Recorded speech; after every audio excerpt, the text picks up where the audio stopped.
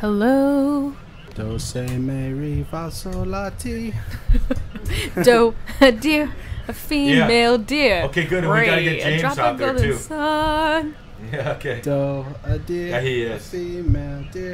love I you, Moses. already sang that Okay, aloha. one. I don't know the rest of that song because I forgot. I haven't seen it in years. We should rewatch it and make close out of curtains. Ta-da! Or- To- Darling, left goes on left, right goes on right, and you should never leave your coffee just sitting there like that. woo woo. Uh oh, she's in love. She was like reunited and it feels Nicole so has good. fallen in love Hey. with the nutty. You're listening to 187 Digital 4, the radio. The ro- ro- ro- ro- I'm radio. hearing, uh, Here we go.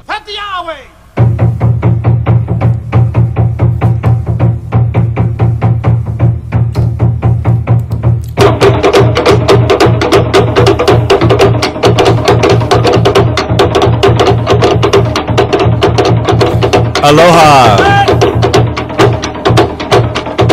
Welcome to BearsWave.com podcast. Coming to you live from my surf shack on the 25th floor of above Waikiki Beach.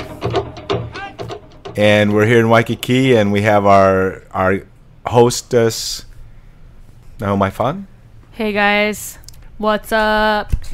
And we've got our special guest Simon Phin from Australia.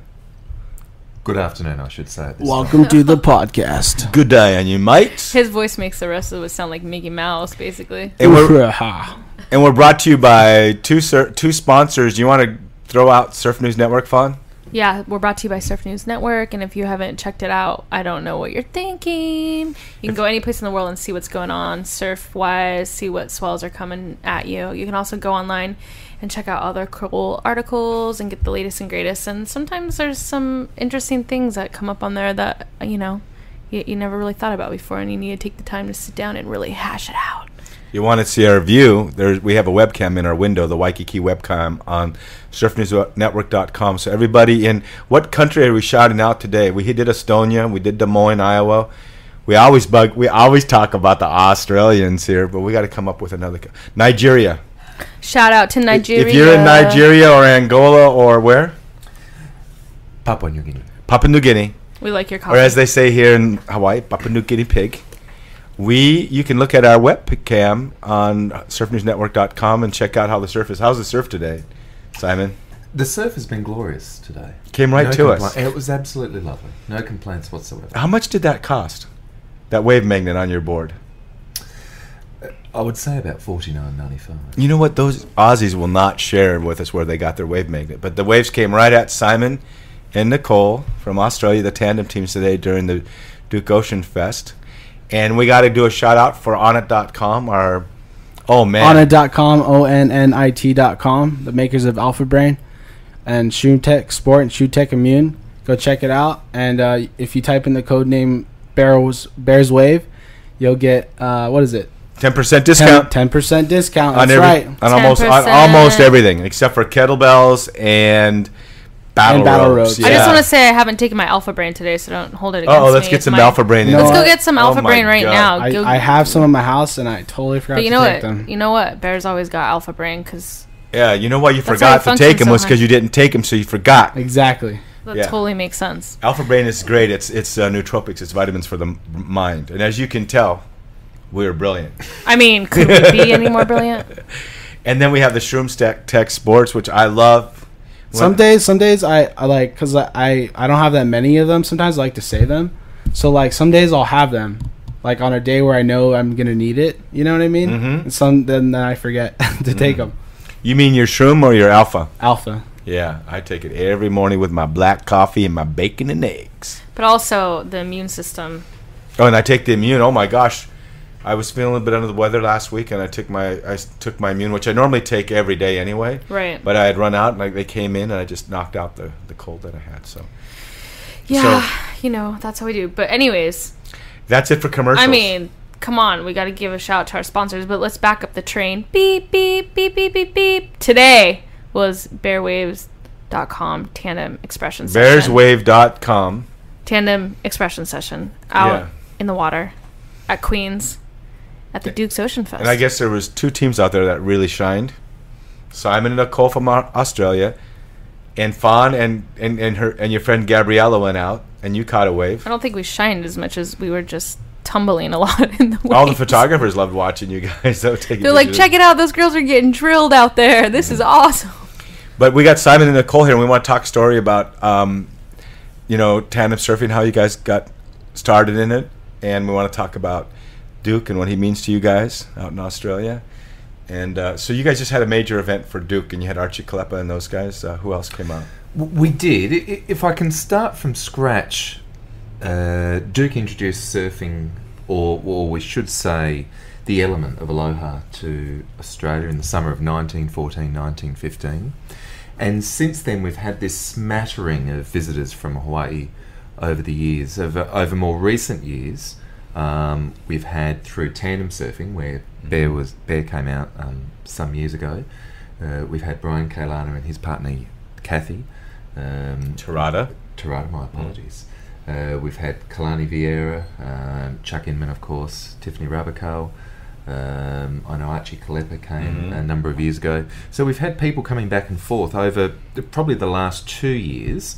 Um, Bruce Raymond, who um, for, for a number of years, probably 25 years, was the CEO of Quiksilver, was always very keen to get um, a lot of the Hawaiians out to try and explain the cultural differences and the similarities between the Australian surf culture and the Hawaiian surf culture. Mhm.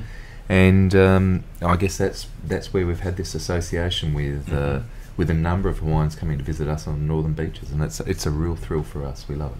But uh, I heard a vicious rumor that Duke Kahanamoku surfed tandem on what an eight foot six. 18. Tell tell how long was it? It, Eight, the, the board is the board is recognised, rightly or wrongly, as probably one of the most valuable boards in the world. It's certainly the most valuable board in Australia. Mm-hmm. Um, in 1912, at the Stockholm Olympics, uh, Duke was well known as um, the fastest swimmer, and there was no two ways about it that he would have won the gold medal. Duke, being Duke, this this wonderful man, fell asleep um, before the semi-finals, and they wanted to hold the race without Duke, and they said, you know, unfortunately, he's fallen asleep. There was an Australian swimmer by the name of Cecil Healy, Cess Healy, who was the Australian champion, said, "Look, if I'm going to win, I want to win against the best, and I'm not swimming." Yeah, I Duke's remember swimming." that story. Yeah. So they went and found Duke. They brought him back, and of course, as the legend has it, he won gold, and Cess Healy, the Australian, won silver. And afterwards, Cess said, um, "This is just a wonderful feat that you've been able to do. Could you please come and visit us in Australia?"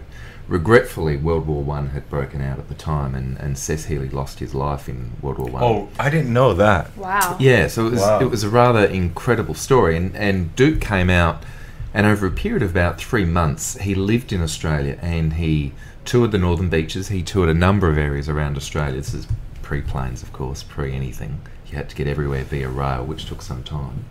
And wherever he went, he fashioned a surfboard, as we'd like to say, fashioned a surfboard out of local wood. Um, we believe there is somewhere between six and eight. I think there's only four surviving. Uh, three are hidden away where people don't know. Well, we do know where they are, but they don't Mhm. own up to where they are. And probably the most noted one is the one at Freshwater Surf Lifesaving Club. It's eight foot ten. It weighs eighty pounds. It's twenty-two inches wide. Has very blocky rails and it has no fin. And the week before Christmas, when he What's what's a rail?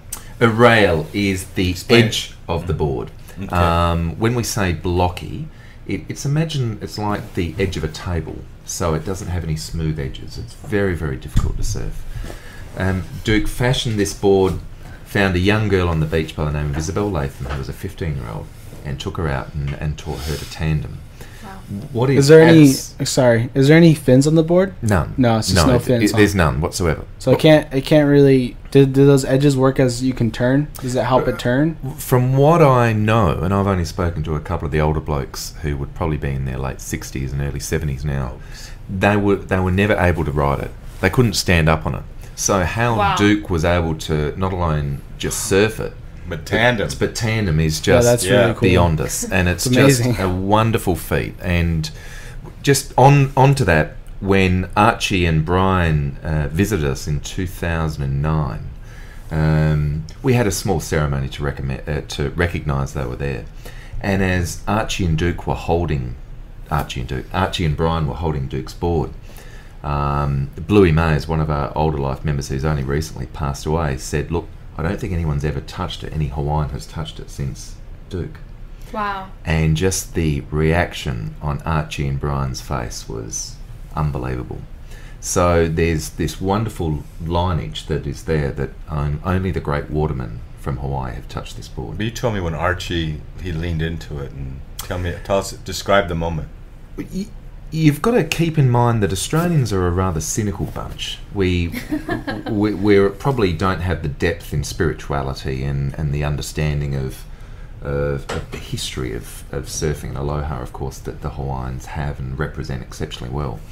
But when Archie, in particular, was holding this board, he leaned into the board and was emotionally enwrapped by the experience, and everyone stopped what they were doing and they realised that this is one of the great watermen of our time, absolutely aware and cognizant of the moment that he was in, and it made an indelible impact on a, a huge amount of people that really didn't understand this connection of Duke to Hawaiians and, in particular, uh, Hawaiians of heritage going back many, many years. It was an awesome experience. Wow. Yeah, Archie was one of our uh, Chic cast members for Fox Fuel TV's Clean Break. And you know, we pushed these guys out of airplanes and took them swimming with sharks, and and we took them to Maui, and we're meeting with Archie Kalepa early in the morning, and I don't even know how he found time in his schedule to, to be in our show. And we went down to the beach, and he sat down on the rocks near his home, and he started talking story. You know, and that he's so powerful and so humble. And the guys were just realized like last winter or the winter before last, he'd been held down for close to five minutes, you know, surfing tow in waves. And when he came up, his partner on the jet ski had been looking for him. You have to be careful. You can't be going. Normally, what happens is the guy in the jet ski will wait for the guy's head to come up because it's been ha- it's happened where the jet ski hits the guy, right? Mhm. So he's kind of looking carefully, trying to find where Archie is. And when Archie came up, his partner's weeping, thinking he had died. And Archie Kalepa has been in a show with you before. You know that show in Australia. You Oh, guys know that show called Coxy's Big Break? Indeed. That's a Did you ever show. see my father on that? Look, I, I must admit, since um, It was one of the first episodes. So it's pretty Well, old. We have, since we've been here in Hawaii, the wonderful thing is we're away from our, our business and our, our work demands, which, like any of us in, involved in something, can take a little bit of time. And we've had the opportunity to have a look at it, and it was it was a wonderful, awesome. a wonderful uh, brief. All the So tandem teams that came Yeah, they, down. they did a good job on that they show. did a very good job. Coxy's great. And then today we had the honor of having kind of like your cousins over in New Zealand were in the water. Did you get to meet any of those? Uh, they're they're filming a show. I forget the name of it, but did you get to meet Uh, any uh, of we heard the accent. So the, Yeah. the Australians and the Kiwis, um, uh, collectively, we're very good friends, but uh, No, naturally across the ditch, we're we um, Rivals. We are rivals. I don't really see it that way. Do you want me to tell you how I see it? Please. I see that the Kiwis are rivals with the Aussies, but the Aussies are like, what? Who are these people? Get that fly off my shoulder. I don't know if that's quite accurate, but I know the Kiwis are super, super. Uh, it kind of reminds me of San Francisco and LA. San Francisco is very jealous of LA, and LA's like, who? San Francisco? Where's that? I I think something we should know about um, New Zealand is is here is a country of only four million, four and a half million people, but what they achieve on the world stage is just significant. I significant. know it's like they're all of them are superstars. their sporting heritage is wonderful, And they're and sailing. that they're they're tremendous in so many And aquatic the activities. all black. And in Kiwis. rugby in Is, particular. it, is that what it is? Is that the All Blacks is rugby? or the is the All football? Blacks, um, every every country has their their codes of football. Um, in New Zealand, there's only one code, and it is rugby. And they live and die rugby, and the Rugby. greatest honour is to I be an played All Black. rugby. It's pretty sweet, man. It's a good game. I played it like you know without tackling and stuff, but like it's so it's like your mind is working ton times faster because you have to think about so many things. It's kind of like I don't know. It's like it's like football and and soccer put together, right? And you hold football, it in your football hand. you take a break every 10 seconds. Yeah, yeah, and you can't like one of the rules that's really amazing about it is you can't go backwards, or no, you can't go forwards. You can only go backwards.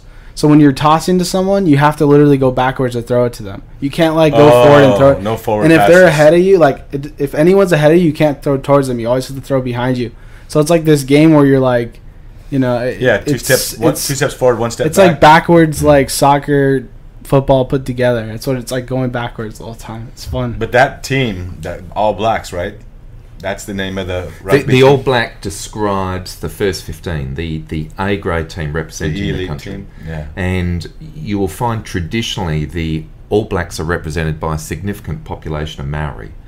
And the Maori, uh, as recognised by many genealogists, is the most feared, um, respectful uh, uh, of all the native heritage. Well, when you think about Captain Cook, when he was cruising around Polynesia, he called Tahiti the Society Islands because they were so social. Yes. All the women would swim out to the boat, you know, and uh, and in uh, t- Hawaiian Hawaii, they were greeted here warmly before he was killed the next time. But he talked about the Maoris when they, because you know that Maori dance is so powerful, the shaka or the The, haka. the, I mean, the haka haka, yeah. is a Scared- uh, it's scared- a welcome to ceremony. So you It's will- what? It's a welcome. yes, but he didn't take it as that. No, when no. you read like, his whoa, writings, because the whoa. haka is a very like Correct. warrior type Right. dance, Correct. sticking their tongue out and everything, and and uh, he, in his original t- uh, pen, when he wrote his uh, cap- captain's log, it was like that's a very warlike. Uh, well, what was the culture. haka made for? You know, like what was it? It was only made for like you just said, right? Well, For I- greeting someone. again, I know this is going out globally, and I'm respectfully, I'm an Australian, not a not a New Zealander. But uh, the the haka is a welcome.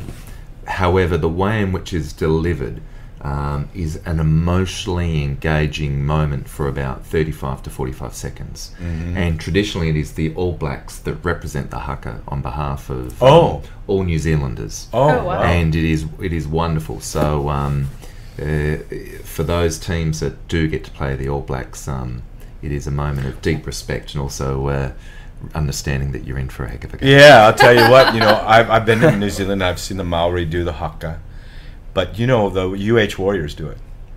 Our football team is so has so many uh, Polynesians, Yeah. and so they use that as representing the Polynesian uh, dance and, as you said, greeting.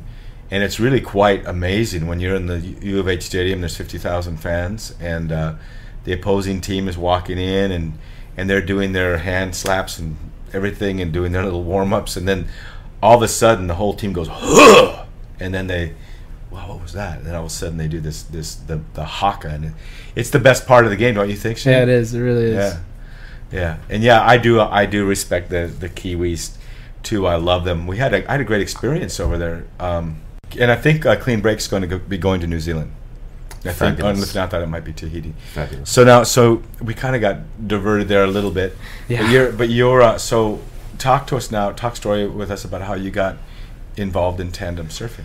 Um, I, I guess if I go back some ways, um, I, I was studying in the US during 87 and 88, and during my spring break in between college, um, went out, came out here to Hawaii for my first time, and went to Makaha, and I, I didn't know too much about Makaha other than um, after Hey, being guys. there, uh, you've got to understand that it's a, it- not only a unique place, but it's a place that demands respect and deserves respect. Absolutely.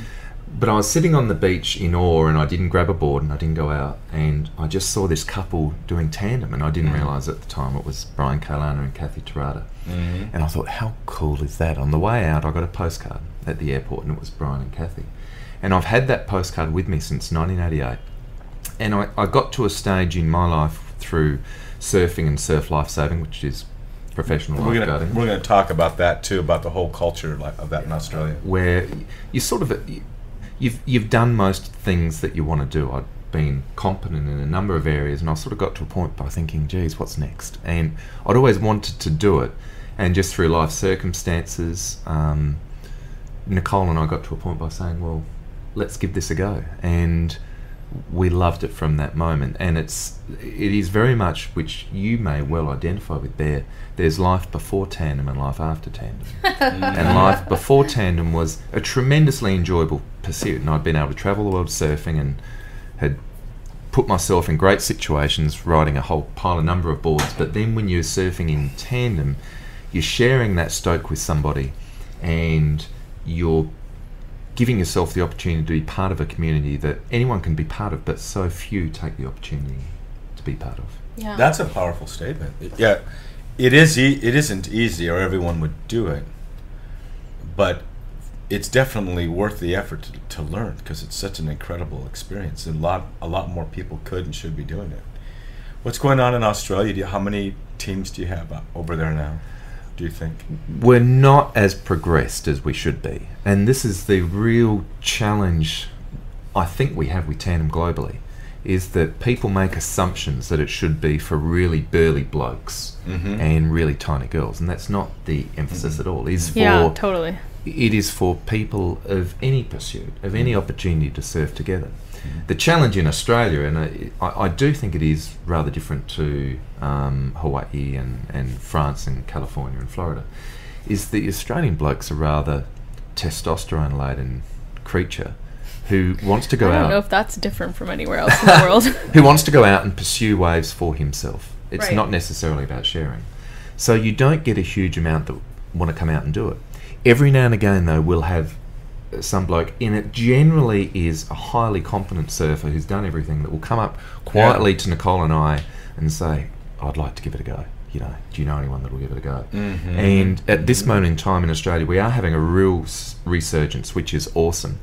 But most of these guys that are getting into it are really young guys that That's have unusual. travelled to Hawaii and they get the click. Oh. They they've seen the wonderful Hawaiian surfers who we've mentioned before, and they realise that it's the missing piece in the jigsaw.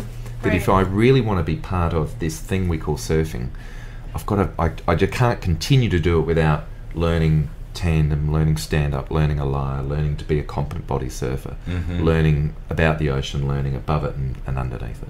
Yeah, above Well, it and underneath it. I love that. Well, it's really humbling too, you know, to like uh, this week was my first week being lifted in tandem because Yeah. you know dad taught me to be an independent woman and go out and surf for myself. But this week is really humbling to sort of let go and surrender and just totally let someone else sort of take the reins, so to say. Mhm. That's a really humbling experience. And you know, a lot of times in surf culture, we're taught it's about being the top dog, and there's something just really humbling and beautiful about you know, kind of like relearning. You know, it's kind of like relearning about surfing a little bit for me as the woman getting lifted. But then today, I was the person in the back paddling, and you guys have like a whole nother realm of responsibility. The whole time, I'm just like trying to protect you my actually- partner. that You was know, so cool, I'm yeah. like, "Are you okay? Hang on." Yeah, it's true. It's really humbling, and it takes takes a really uh you know quality person to be able to step back and and sort of relearn. Yep. Well, I found I've taken out a lot of a lot of very powerful women, and it's liberating for them when they get to trust a man, you know, and relax and kind of give control, you know, away because it, it's like on any ship. There's you, you know, when I'm when I'm sailing out here, and I'm on someone else's sailboat, they're the captain, and they say draw on the line. I draw on the line. You know, I don't. I you gotta. And so on the surfboard, especially initially, the woman has to be really um, tuned in to the man and, and listen and follow his his instructions. Over time, though, they become like one, and it's almost instinctive with women. Can we bring Nicole in for a second? Promise Nicole, because that, that was a good segue. Because Fawn talking about Oh, she's dying to talk. yeah, okay. she now absolutely loves we it. said She we would. it. I had a tricky thing here. I made sure that there wasn't. There was only four chairs, so Nicole has to sit in Simon's lap. So sit in Simon's lap, so you're close to the microphone. Simon told me to do that. So let's hear about your experience and how you started tandeming, Nicole. Um, I have never, sur- I'd never surfed before. I'd grown up on a lake. That was our, our country escape and our holiday escape. So this the ocean was very new to me, and um, I found myself living in Sydney in my sort of late thirties, and really wanted to give surfing a go. And met Simon, and I saw that he had a big enough board. It was a twelve foot That's long im- board. That's important. And I just said to him one day, please, can you take me out on the board and teach me how to surf? And, and he said, but did you know Simon very well at that yeah, time? we, we'd done we'd done um, what we call nippers together, which is um, where all the children join in. Um, it's a voluntary surf life. but you weren't dating at the time. No, we were friends. So are we talking about Not tandem yet. love here? Uh, yes. That's where this we went. Went to tandem, and they call it tandem love. so how did that all? Tell us more. Simon always thinks I fell in love with your surfboard. Uh, There's some truth in that, that I have fallen in love with all his surfboards. mm-hmm. But yeah, we went out for our first um, surf lesson, which was a lot of fun. And um, he said, just stay lying down the front of the board until I tell you to stand up, okay? In fact, maybe don't stand up the And first you hadn't time. done any tandem surfing yet, Simon? No, no. It Man, was, this it is was great. rather Learn that's seren- together. cool. It was serendipitous for us, if if I can sort of use that It's a analogy. great word. Yeah. Um, in surf lifesaving, it is a huge movement in Australia, and I, um, I was really enjoying it. But I'd sort of done everything I wanted to do, and you, you compete at a, a local level, a state level, a national level, and then a, a world level. And I'd, I'd had great luck, and I'd had some great success, and thought this is great, but I want to do something different. Nicole and I were both single. Um, we both had children, and we were involved in nippers, and I was coaching a young bunch. And of course, it's not hard to notice Nicole. And when she came up and said, "Would I'd like to have a surf?" Well, I, I'd only just got this 12 foot um, Mickey Munoz board, which is Wow. what most of us Nice. no, most of us learnt on. Um, and a friend in Australia, um, Barry Bennett Surfboards, it's the oldest Australian um, family owned surfboard company. I did some work for them, and Greg Bennett said, Look, no one else is going to ride this board, why don't you take it? And within a week, um, Nicole had said, You know, can I go out and have a go? And I think on that day, um, we stood up together, and before I knew it, Nicola had jumped into the cradle. Really? And I said, "What are you doing?" And then she jumped down and said, "Well, I thought that's what you're supposed to do." So that's, that's how it She started. All was right, right. Nicole. Yeah, but I had no idea. I grew up water skiing, and so I'd seen um, all those water skiing tricks, you know, where Mm. girls will climb up on the water skiers' shoulders and they do the Right, pyramids and things like right. that. So that would be the closest association I would have had to tandem surfing. I'd never seen tandem surfing, but I always wanted to learn that sort of skill in water skiing. And then when we were on a surfboard, that's very much sort of like a water ski in a way, just a big water ski. And I thought, yeah, maybe you can lift me onto your shoulders. I was always daring him to do things, and he was wanting to surf separately, you know, and respectfully. And I was like, no, no, no, we've got to surf as one person. It's funny. The woman funny. has that instinct right away. You know. You know, I, you know, I wasn't surfing. I had no idea how to surf, but I guess I had the balance. And that's maybe. probably the difficult thing Throw for the air. men. Yes, when they're starting off with a female, is that to be successful in tandem, you have to become one. You've got to surf together, and it's not a sexual thing. It's just a, a recognition. It's the only way it's going to work. Right. And respectfully, the situation we were in, I, I wasn't uh, desperate to be holding Nicole so close, but um, she didn't Yes, know what she was doing. So we uh, we ended up being that way. But um, it, That that, is- that was quite some time ago, and since then, um, it's, it's When was that? Full When, how how long ago was that? Um, Six, 2005, 2006. So Wow. sometime. Yeah, I remember. Well, I was I used to train in a lot in martial arts, and in that environment, there's closeness. Whether it might be a guy, might be a girl, but there's that physical physic, physicality of being close. Although you're beating each other up, a little bit different. But I, I was used to um, having to be a little bit more delicate in my, with my uh, female partners, you know. But they would always say, "No, you, you got to be, you know, you got to be strong. You got to be powerful." And people that I teach out in the water, I've learned that the girls really want the guy to take charge when the girls are first learning when they surf with someone where the guy will take charge they feel really comfortable and when the guy is like kind of soft with his you know he, he wants to turn her but he's being delicate or not let, not really communicating clearly what he wants it, it, it, it just doesn't quite sync up all the time so it's so it's a kind of a um, learning experience. yeah, but you have to be close. I like you have to be like one person. Mm. Now you guys are kind of known for this one. There's a picture of you guys riding this really big wave. Can you describe that moment? I want to hear. I want to hear. No, Nicole. I want to hear you.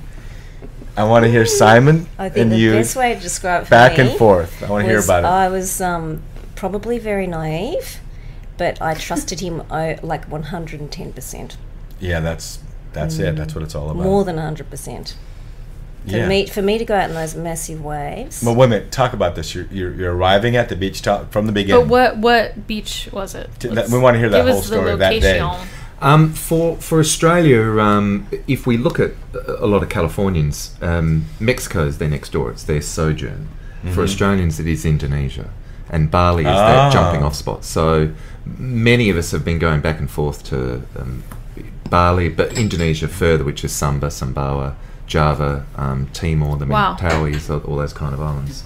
So for us, it's not too unusual. However, um, well, I'd, I'd probably surfed as bigger waves, but that day where that photo was taken, um, it jacked up really, really quickly. But what wasn't seen is that we went out in the water with um, someone we know very, very well who's a ex- lives in Bali and is an exceptional surfer, and we just sat by Mick, and it took us a little while, but.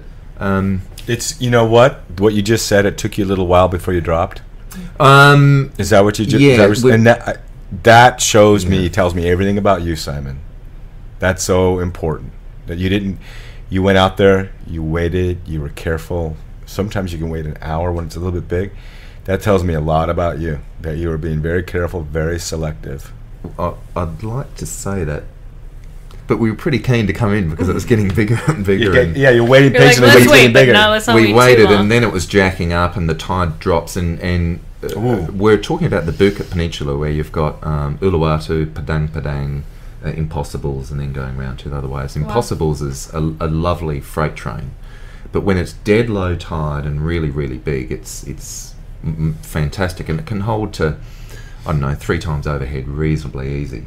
But you've got to get in really. You've got to get in early, and you've got to stay out in front of the wave. And that wave we got. Um, we have respectfully got bigger waves and nicer waves, but that was probably the first one, and it was just breaking over our head when that photo was taken.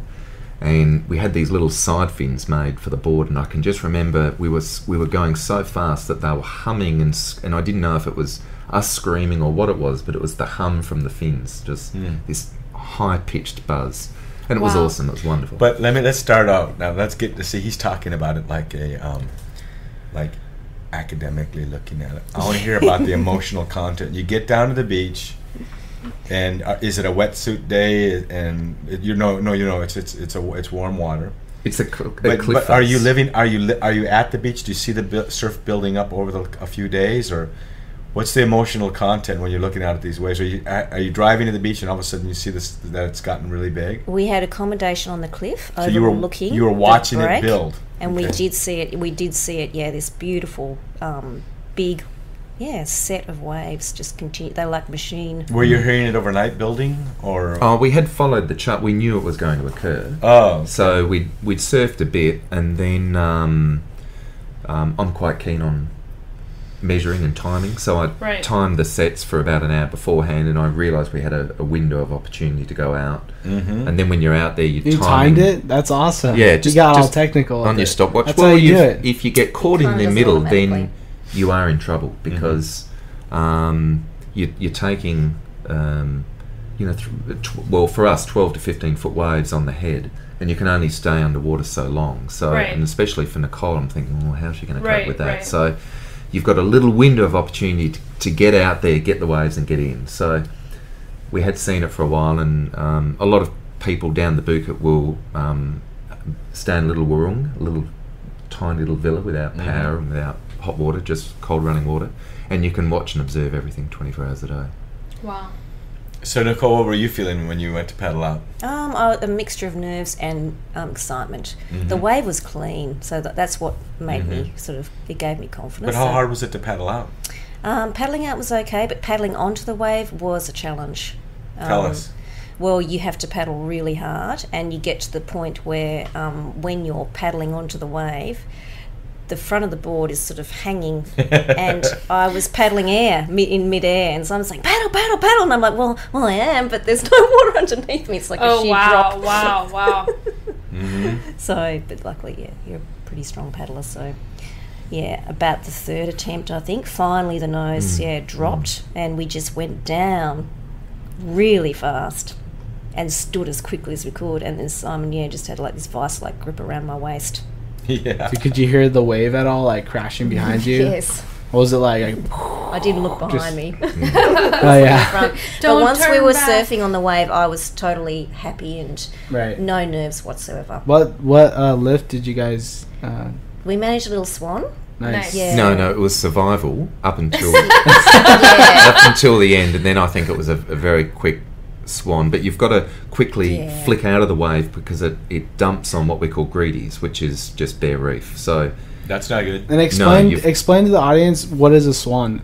What does it look like? it's probably the most I wouldn't say the most traditional of tandem lifts, but it, it is the most graceful. Is that fair to say? Beautiful. Beautiful, yes. It's a uh, holding um, the woman on your left or right shoulder in a um, imagine a Rolls Royce um, swan, uh, the flying lady as such.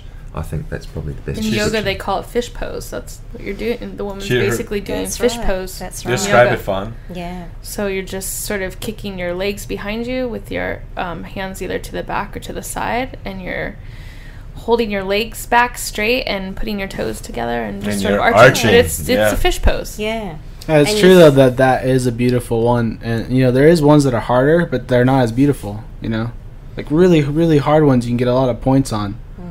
but you know they're not as beautiful. You know, it's just standing up. Like when you put someone's hands, what's that one called? Where the the woman Uh, stands on your hands and you The just hand to foot. yeah, it's just so you're just standing like it's cool. It's, It's- it's showing how really cool, hard, strong you are, but it's not But it's not you know as graceful and beautiful as the swan. No, absolutely. What's the biggest wave you guys have ridden? Uh, what's your favorite? You, you know, in a in a when you've been able to drop it and hit your left right away. Tell me about that way. Um, probably locally, um, we live um, in an area of Sydney called Manly Freshwater, which is our little area. Mhm. Um, and at Manly, there's a wave called the Bower or Fairy Bower, either Mhm. one. And when it's a, um, a high tide and it can hold a, a quite a, easily overhead, double overhead, um, at high tide it's reasonably easy, and we like to surf that, you know, in a one arm back and just hold it as long You as love we a one arm back, don't you? We do. It's I a think great it- lift. You guys are really good It's at a it. wonderful lift. Ex- Um, explain what that is. um, you're asking for a lot of descriptives. but- It's difficult. This can I describe it? It's, Please it's, do. It's di- I, I because I'm a writer. I've had to describe these things. I know it's very difficult to describe. It, the, the man grabs uh, the the woman and man are surfing. He puts his right hand, for example, in the small of her back. She brings her left ankle up a little bit. He grabs the ankle. Uh, they do down up, and she jumps as high as she can up into the air, and then arches backwards over his hand, and uh, and then her hands arch back, and her knees in kind of a stagged or pike position, and it's it's a quick. You can do that almost before you do your bottom turn, and you can surf in it so well, and you can uh, and it, I think it's the most beautiful of all lifts, the one arm back. So then, you, so you, so that's the now. Now I want to ask you this question. Describe for us. I think Shane's zooming in on. I'm at freshwater Th- this is the most Freshwater surreal, freshwater Australia. Australia, right now. on Google surreal Earth. thing. Un- unfortunately, as much as I would desperately love Oh, to have beautiful these there. skills, We're looking at the Google. Tell, hey Shane, explain to explain to us what you're doing. This is freshwater Australia. well, Wow. this Yeah, is but- but- actually what we. The stretch of Manly But- is three beaches in one. But what are you doing, Shane? What are you looking at? I'm at Street View right now. On what? Google Um, Earth. On Google Google Earth Earth. Street View. You know, Shane and I do this a lot. Like I'm, I'll be walking like in some part of like. You guys surf where? That one's That's the spot. This one? You guys can totally Point Google Break, it of too. course, beautiful spot. Point beach? Break into a bay.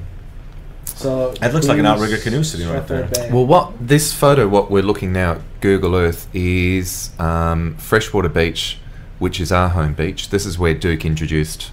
Um, Wow, cool. Surfing. This as is such. it, freshwater and beach. It's a small little beach on the northern beaches, but what you're seeing there is It's a great the, venue. the Australia Day Carnival, which is uh, the longest running surf or surf lifesaving. When are we beach in the coming for that? Uh, well, it's held Australia Day every Oh, year. it's it's been going since 1908. Uh, When's Australia Day? What year? that's January 26th. Yeah, we need to start going to that. That is a beautiful venue. It- it done is a- and done. Wow, you know what I looks love about that venue is people can see what's being done right from the cliffs and, and stuff. It's it's wonderful, and that's one of the great things about the northern beaches of Sydney. If we can advocate that, I've always heard about him. Big him to Sydney. surfing Let's give a and people out. looking down from the cliffs to watch him surf. You I've always heard about You that. can do that pretty much anywhere. So, um, yes, I probably like um, freshwater and Manly are our favourite breaks. Let's hear about your worst wipeout. Tandem Um, surfing wipeout. would probably come back to um, Impossibles again But this would have been. It, it is regretfully aptly named because sooner or later it's going to catch up with you, and it's an impossible wave to master. Uh, probably three years ago, I, not so Nicole, probably wanted to push it a little bit further than we should have, and um, Steve Boehne was very kind to have a wonderful gun made for us. So it's, we've got a, a tandem gun, a 12 foot pintail tandem gun, Wow. and it, we were surfing as, as big as we caught, uh, big as we could, and it just got glassier and glassier and more perfect. And then just on that last one of the day, Nicole took a tumble. It's like tumbling down concrete, so she just got massively bruised, and then I had to find her, and that was a little bit hairy. So it was a matter of quickly grabbing her and then getting out of the water. And Let's hear I think Nicole's that version of it. Come on. Oh, I can't We always have the wipeout segment. We let's hear your Yeah. wipeout, your side of the story. It's the one. It's the one where you're underwater for so long you're not sure which way is up, and you're thinking, "Oh my gosh, my lungs are going to burst." And where's the air? mm-hmm. Yeah. Did you guys get right back up and go out again, or what was your? Um, no, that was it. I think That that, was, was it. pretty much it that time. Yeah. But you Sometimes you reconnected never with know. Simon right away, and Yeah. the leash didn't snap. At least It's not as. It wasn't as bad as yeah. Yeah. Yeah, we've never snapped a, a, a lead, or a, a leg rope as such, a leggy as we call them. Uh, That's what I'm however, gonna start calling them a leg. a leggy. Leggy. But normally we have um, leggies custom made, so they're 10 foot ocean and earth leg ropes. But on that trip, I remember we came home with a 16 foot one. So, Because it stretched out so far. yeah. It was a yeah, 10 they're foot 10 leash. they're 10 foot, we get 10 stretched foot standards. to 16. 16, they've never snapped. So, Yeah, that's nice. Do 10 you double points. plug your boards? Uh, we do actually. Yeah, it's a good yeah, idea. Yeah. Wow, that's something else. Wow. It's pretty incredible the responsibility that you know the guy has to make sure that their partner is safe. I know I already said that, but yeah. today taking being that person today, I'm like, oh my gosh. You've had an unusual Yeah. experience being a tandem girl in the front and the back of the board. Yeah. which I guess is something I, if we are talking about tandem, one thing I think I am keen to talk about and debate or argue if one can put forward a proposal is that tandem needs to acknowledge, I think, globally that we're many schools in one.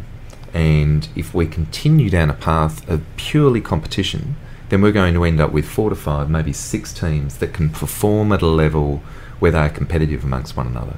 What we need to recognise is that we're a very big school of thought. We're a, um, a, a, in political terms, a church of understanding, a church of common thought process, where we need to recognise that tandem uh, should be available to all and sundry, Yeah. regardless of their pursuit.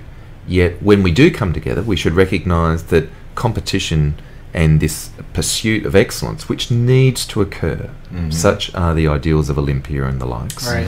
um, but only should be one element. There should be other social elements. So, well, I would love to see a tandem paddle race, a paddleboard race. Mm-hmm. We'd Yeah. love to see a D and D, a dad and daughter.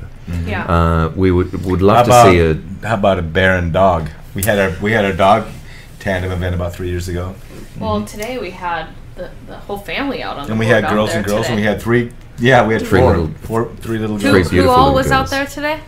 three girls with Moses Paskowitz. Yeah. I don't know who the girls were. So I think we need to recognise that um, for us to make attractive tandem surfing to other people, that it shouldn't be let's turn up to the beach, here are your lifts, away you go, because that will limit a certain demographic. It will limit some men because they think I, I cannot lift a woman like that, Right. and it will Well, limits. Yeah, it will limits. lif- limit other women thinking, I know I'm not as light as this wonderfully athletic, tiny little Hawaiian girl. I don't think I can do that.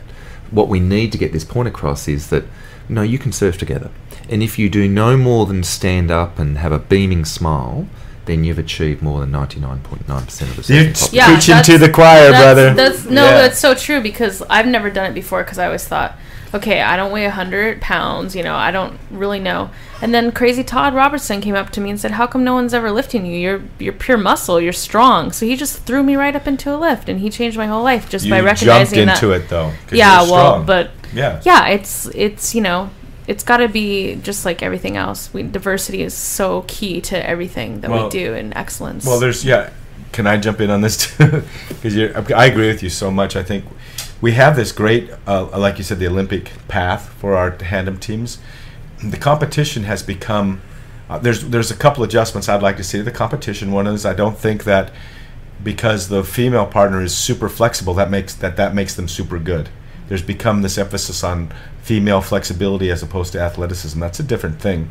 So I'd like to see them balance that out a little bit and make more of an emphasis in the competition arena on actual athleticism. And I'd like for them not to lose the beauty part of the uh, tandem. But what we did today, what we've been doing in the last few years, is with the expression sessions, we're opening up the door wide open and having fun, and it's going to develop along a path where there will be another arena uh, of an expression of beauty and an expression, and then th- th- there's can be there can be a whole competition just on beauty if you wanted to have competition. But I'm kind of like, I don't want to do that. I want to bring in the teams. That, a lot of the women that are not as small or not as flexible may be able to do more of those really beautiful poses too. That maybe Mm. maybe aren't so difficult in some respects as far as flexibility, but they're so beautiful. it, it's an important debate to have, and I think it is an important, um, not so much argument, but a, a talking point as such to say Yeah. what if if there is a collective group of people helping to steer this pursuit of tandem into the future, Mhm. then what should it look like? And I'd just like to throw the cards out there that we need essentially to maintain that desire to achieve uh, uh, abs- absolute optimal um, excellence, which is what we displayed yesterday. But at the same time, we need to recognise that we have wonderful individuals like Lance and Jackie who are respectfully are in their early 60s that are doing something tremendously inspiring. And then we have um, Fawn and the mate going out and saying, bugger it, I'll give it a go. And then we have someone else saying, why don't we give it a go? What we need to recognise is that we can draw these people in and say, you know, welcome to the clan. You know what's the, the, coolest thing of all today totally. during, and that's what the BearsWave.com tandem expressions. Sorry uh, about it- the la- ambulance, guys. that that yeah, but that that's that's them. yeah, This is how it is. but th- that's part of this Bears Wave tandem expression sessions. When I left uh, ITSA's board and was co-president, is because I saw this tremendous need for this other this other track. But you know what was so cool today? Just as we were about to paddle in, uh, I think it was John Paul. I forget how you say his name, and a girl from Malibu he, that he grabbed off the beach paddled out. Did you see that couple? Yeah, that was awesome. There was a new tandem team just showed up in the water out of nowhere. Isn't that wonderful? Yeah, and that's what it's about because these these fun fest type events are kind of the gateway, I think, to people to go on to competition. But people are tired of showing up and spending 150 or 300 bucks in a contest and being eliminated in the first round. Oh, and, oh yeah. and and I still think that this this whole element of competition has become so overskewed on female flexibility as opposed to team athleticism that there needs to be a sort of a correction in that area too. But in terms of uh, I, I love what you talked about about the paddle paddling together. But today, didn't we have a blast out there today for It- ninety minutes? It was wonderful, and that probably for um, Nicole and I, we, we did paddle in early um, because we, we were stoked. And I, I won't say I'm a massive proponent of, of all the great surfers in the past, but Nat Young um, did say something some years ago uh, after he had had his altercation at his home break in Yamba. Yeah, I saw. I mean, And Nat said, you know, I don't have to surf as much any day, uh, surf as much these days to be stoked. And it's respectfully, it's the case for me. Is that um, you know I, I get a little bit choosy now when I go out, and I get as much through pushing someone into a wave in our home bait and break at freshwater. There's probably a, a handful of people that go out, and you know we, we can pretty much get what we want. But I, I have as much fun now getting to the beach and I can dump my board and think, bugger it, you know, I'll just swim out there and push someone into a wave or go out and s- paddle next to someone and say, look, look, let's get out of this area and move over here. mhm. And it's, you never know the impact of having some engagement with somebody else when you, you're at the beach a, a week later and you're walking down with, for us, it's a surf ski or a paddleboard and someone comes up to you and says, thank you so much for that push last week or thank Oh, you cool. for this. Well, and you've got no idea who they are. And that's what we should be trying and to that's do. what Duke's Ocean Fest is all about. That's what Aloha is all about. And it's about, you know, not just being an excellent surfer in the water by doing so many great cutbacks or so many lifts, but having an excellence in your spirit and the way that mm-hmm. you approach people in the water.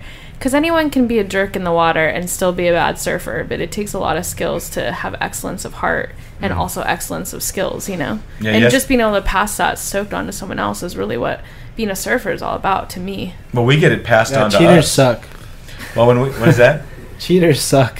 when we were when I you know I love surfing canoes and a lot of people like uh, frown at me like why do you like surf canoes because I see they get me stoked the beginners out there one of mm-hmm. my favorite things to do is be paddling for a wave and I see someone struggling for a wave and so I catch it lying down and I push them in and they don't know they've been pushed into the wave you know and I'll just be around kind of pushing People. I feel like Santa Claus kind of you know mm-hmm. and the other day I was tandem surfing with someone and this girl's like screaming yeah yeah yeah she's looking over at us we're screaming for her she goes that's my first wave I ever caught. I from South Africa. My first wave I ever caught.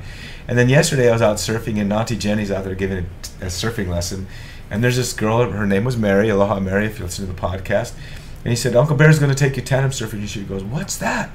And we put her on the board. And as we're paddling, I mean, so we no beach practice. As we're paddling out, and there's no waves either, right? Mm. As we're paddling out, all of a sudden the wave of the day is coming in, and so I'm describing to her, you know, you're gonna get up real quick, come back to me, jump as hard as you can in my arms, and then I'll tell you what to do next. Right. And we t- we paddle out and did that thing where you turn as you're paddling out and dropped into this wave, and we got up and I'm pulling her up off the board, ah, muscling her up, and then she jumps in my arms and I say, "Look at me," and she looks at me. and I say, "Now let go of me," and then I throw her into a swan. Now arch, put your arms back, and she did two of those lifts like that with me, and you know, just hear my voice.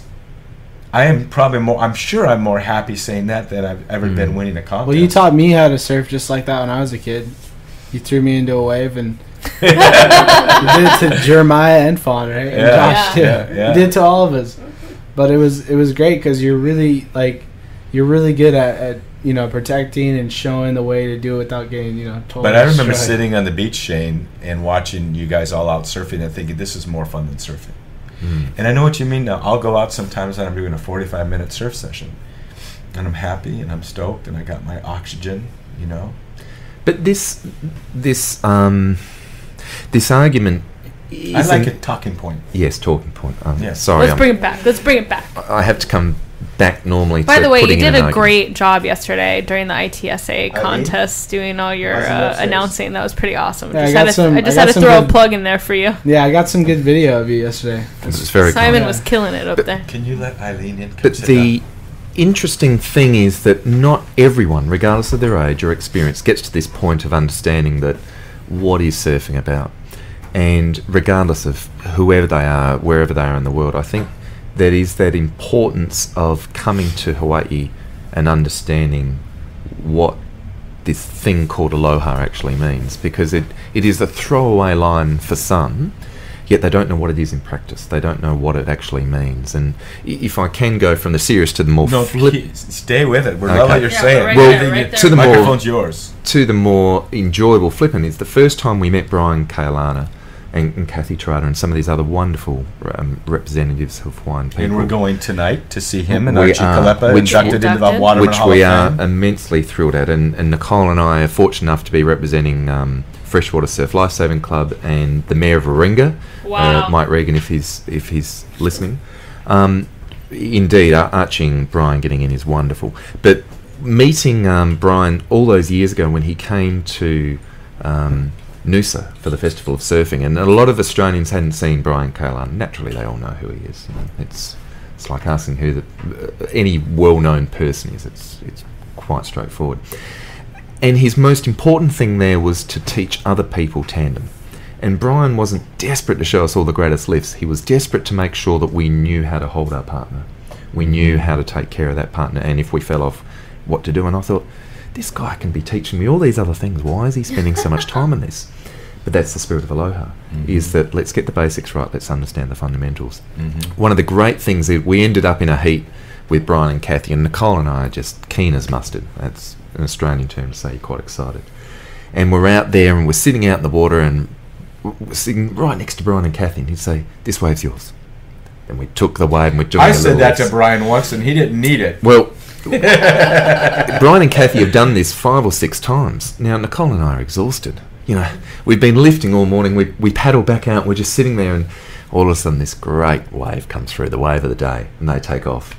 And then at the end of the heat, I went, geez, you're pretty generous, mate. He said, nah, a tide surfer's a tide surf's an advantage to me. And I thought, geez, that's not What, what did he say? What was? Well, he was more than happy for us to just get tired and take everyone yeah, no. away. You know what he said? I've, I've had the same relationship with him. I said I, I gave him a wave once, and I'll take it. And then what was one time Queens is a tricky little break. You know, it's easy to to to uh, drop in on someone because the peak it's like a double peak. And I, I dropped in on Brian Keaulana. I said, "I'm sure sorry about that." And he goes, "No, that's fine with me. Do that anytime." Because of course it eliminated me from the heat. you do that anytime in competition that you want, but not when we're out out surfing together. So I think we, you know, we we should take um, the ethos and should take the responsibilities we have as surfers seriously, Mhm. but we should never take ourselves so seriously, and Oh, and yeah. that does. Uh, frustrate me a little bit when you Yeah. m you meet somebody who knows they are a champion or a bit of a legend in their own lunchbox, but in the greater community, really, you know, they're not Mm. much more than a slice of bread. Well, in Wait, I a small about that. family too. Yeah. You know. Well, there's yeah, and there is this thing where I, I really loved where you were going with this, and I hope that we can keep working together to develop this other side. Eileen has just walked in. She's the woman who runs the the National Kidney Foundation event over in Florida, and we've talked about this a lot about developing this other area of tandem surfing that expresses the fun and the beauty as opposed to just the competition. Like you need both of those elements. But I think it's was I, we you know we went from when we started the ITSA in 2006. I think we had about a dozen real teams, and then we developed 16 new teams here in Waikiki. And we had that first event. I think there was a total of 24 teams, so more people kind of started and came out. And the next year we had 32 teams at the Duke Ocean Fest. And overall that year there was a total of 60 teams that participated. And Eileen knows this. Over the course of the next couple of years, it began to slip.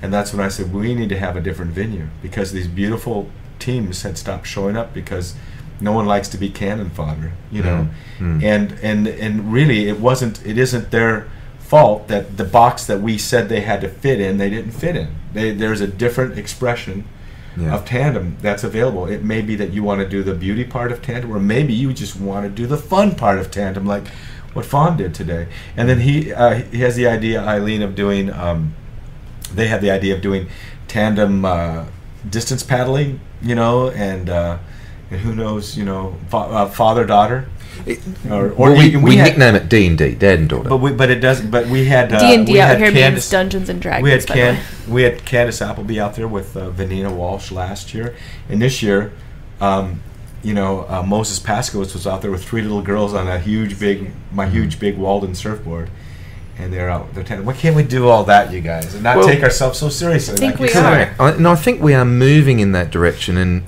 and whenever we get too far ahead of ourselves historically, we should always look a little bit, l- little bit back into the past. You know, we we had World War Two because of the failures of World War One. We we had the Cuban Missile Crisis for the failures to address um, other issues. But I'm going off on Oh, a yeah, yeah, political you are. Yeah, But brother. let- yeah. Let's just in the immediate tandem future, we've got you know two of the most wonderful um, bearers of the standard in tandem in Stephen Barry Boehne, and you spend a little bit of time with these guys, and they're in their sixties, and and they just don't take it that seriously. They've achieved a huge amount. The biggest concern for them is, is sharing a laugh and a joke, mm. and it is this wonderful spirit that when you're with them, they really don't give too much more of a hoot than seeing other people have fun.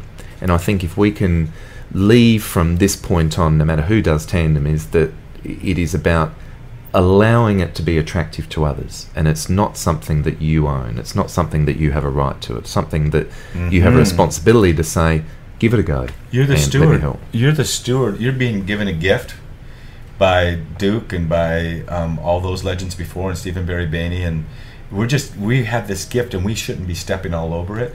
But Eileen knows. Eileen, when we came to Cocoa Beach the first year, did we have an uh, an official competition? No, we had a fun fest.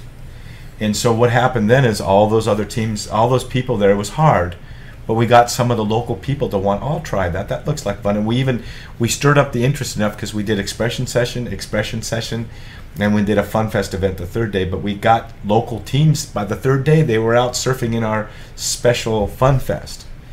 And I think one of the mistakes that we made in Australia, if I may say so clearly, is that um, I think it's a big mistake to go to a new venue and show up with the best teams in the world and just shut down the local the local teams that are just beginning. Or and I can say it this way they're just learning to fit into the box that we created saying these are the lifts and this is how you do a competition. And so who want you know it's not right to go into someone's backyard or into their family room and just embarrass them because you've been doing this for a few years longer. I think it's much better if we go to And Brazil. also, you know, when you go into a new area, they don't even know what the sport is. So Right. like, you have to introduce it, you know, first. and get the get the interest and then get them then get them to like it. So But it's grown. It's grown since you know you've been to Australia. Uh, uh, tandem surfing has grown a lot more, right? Yeah, but we want to go back to Australia with more of the aloha approach and go into Brazil with the aloha pro- approach. We've been invited there. We want to go into Japan with the aloha approach. And and what you talked about, fun. Let's go in there and have fun, have a fun fest.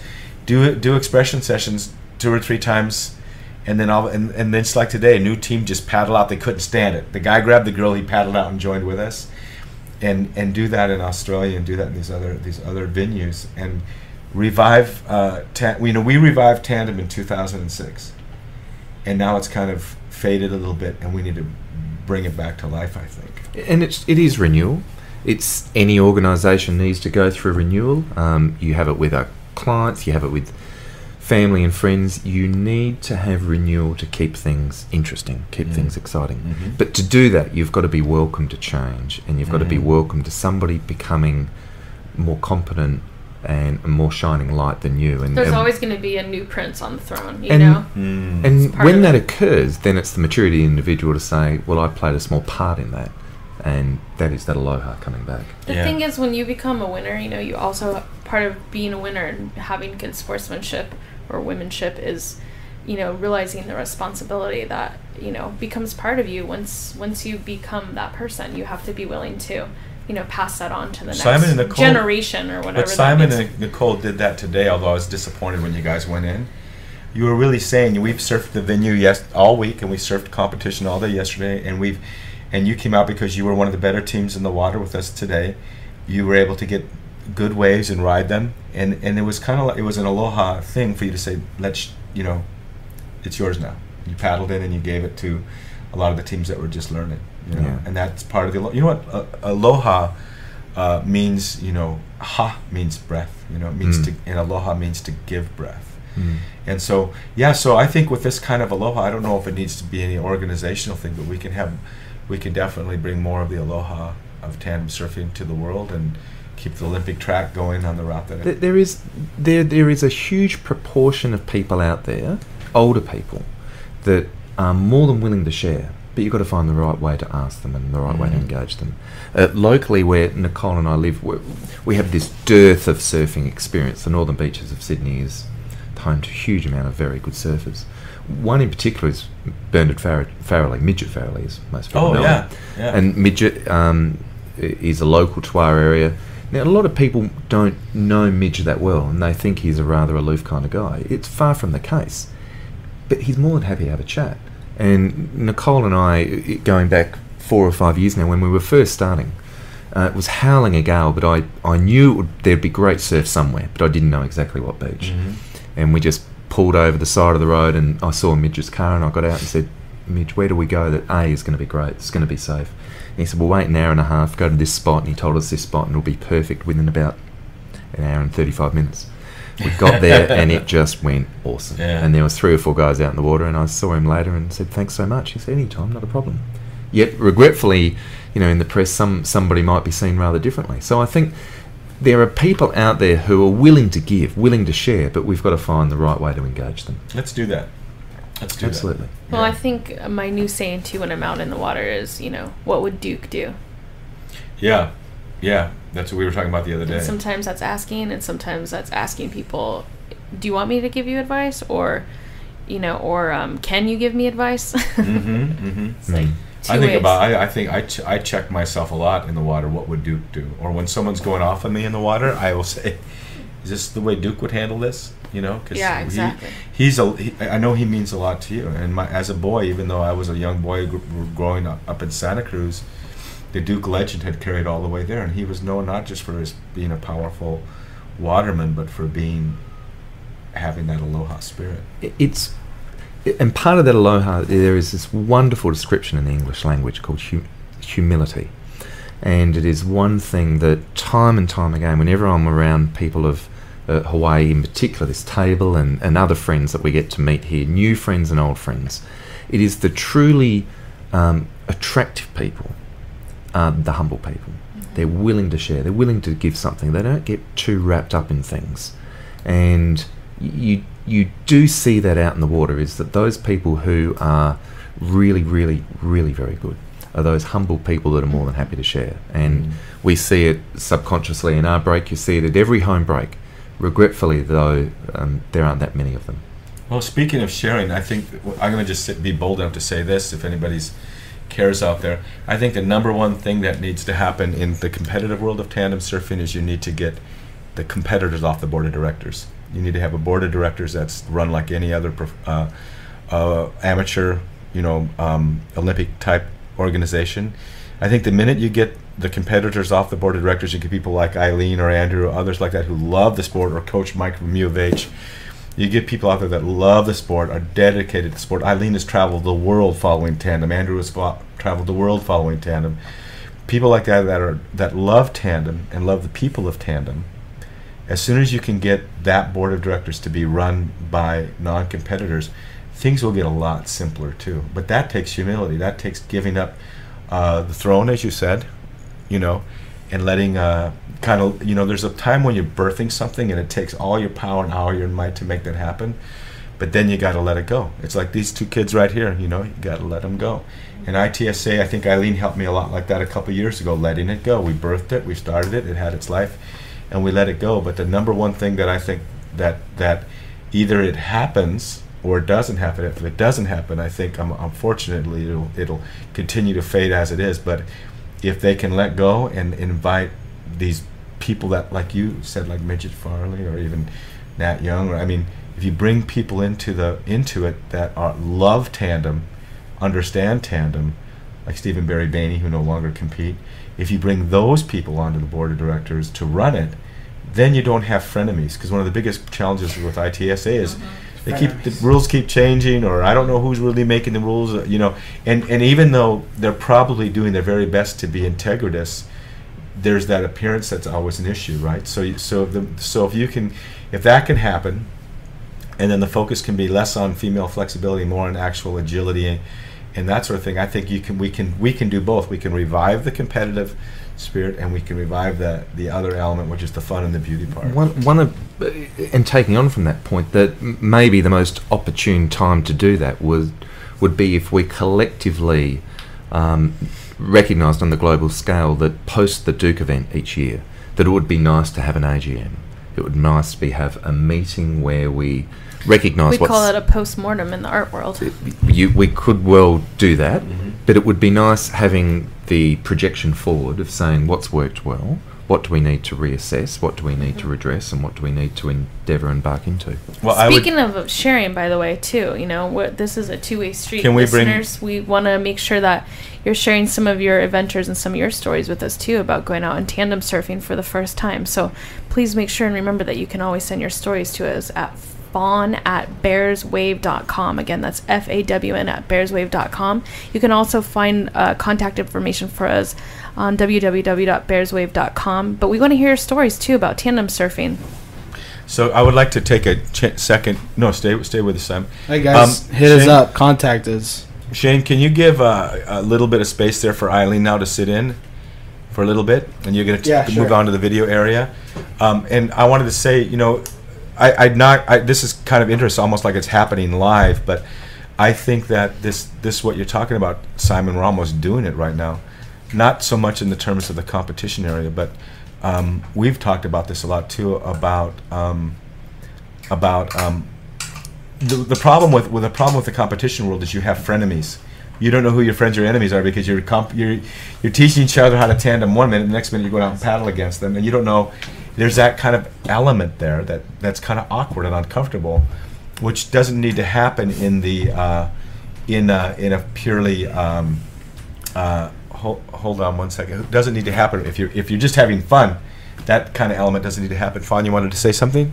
Yeah, I want to go ahead and uh, introduce Eileen in the studio. Hi. Eileen, how are you doing today? Doing wonderful. Can you fix We're your headset? really glad Shane? that you're here with us today.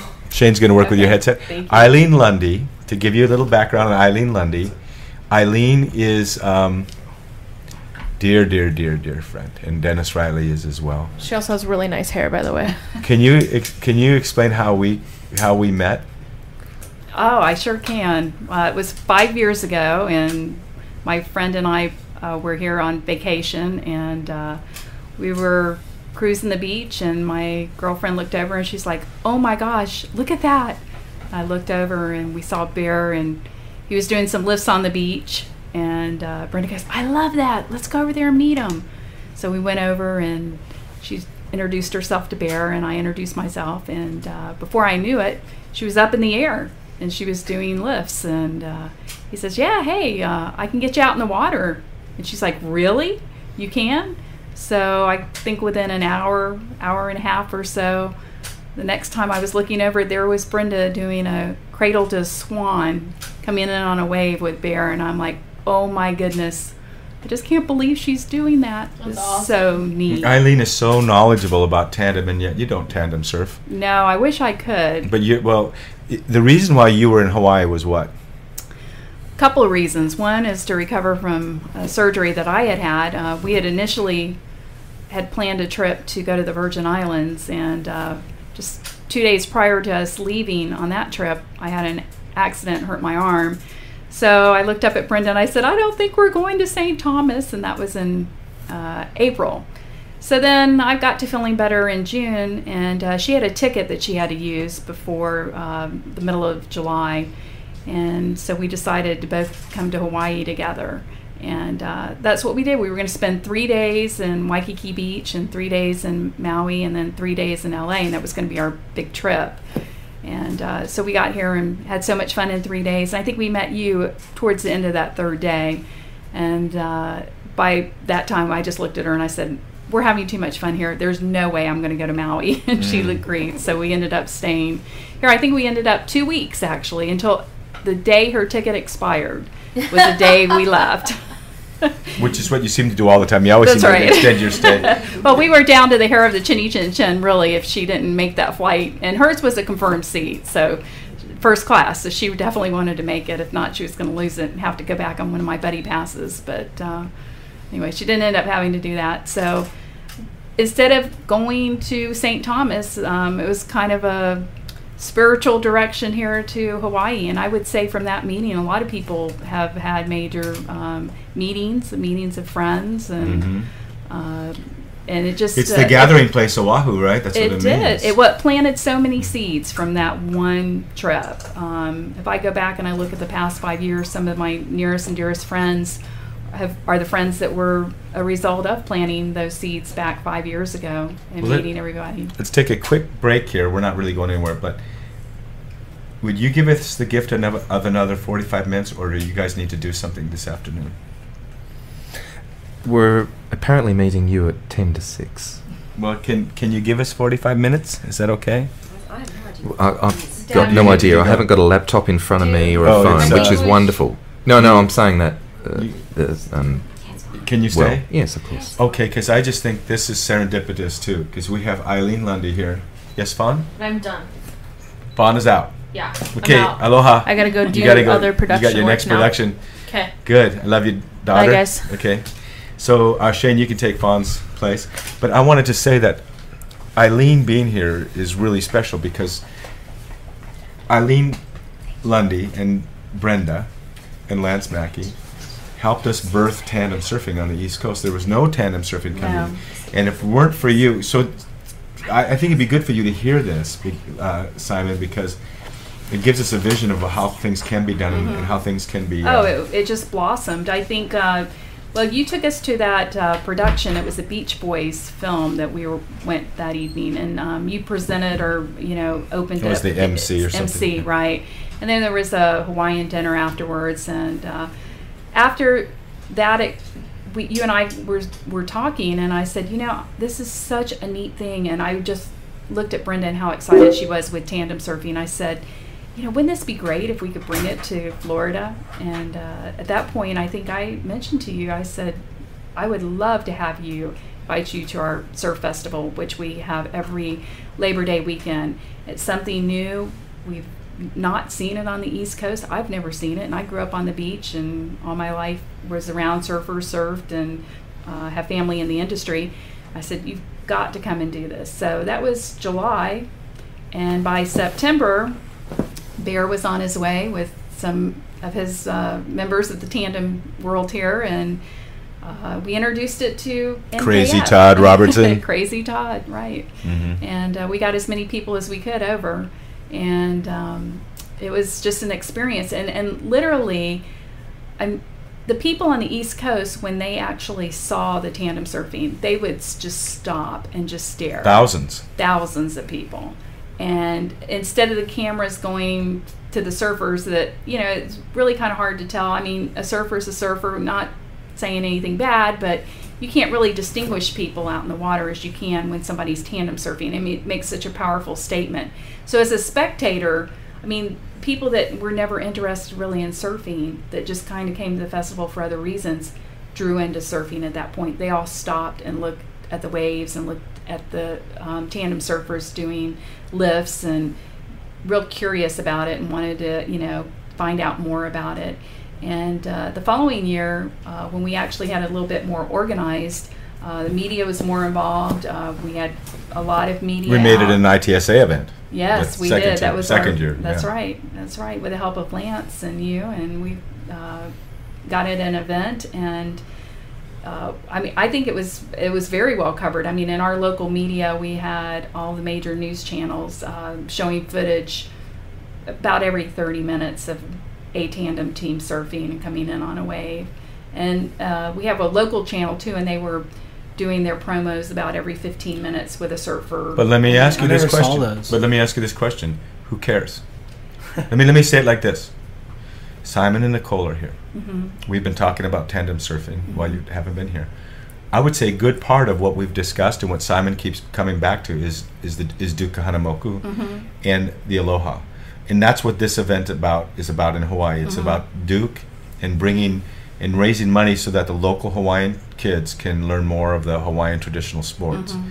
Well, what good is it if we come to Cocoa Beach and all the cameras are looking at the tandem teams?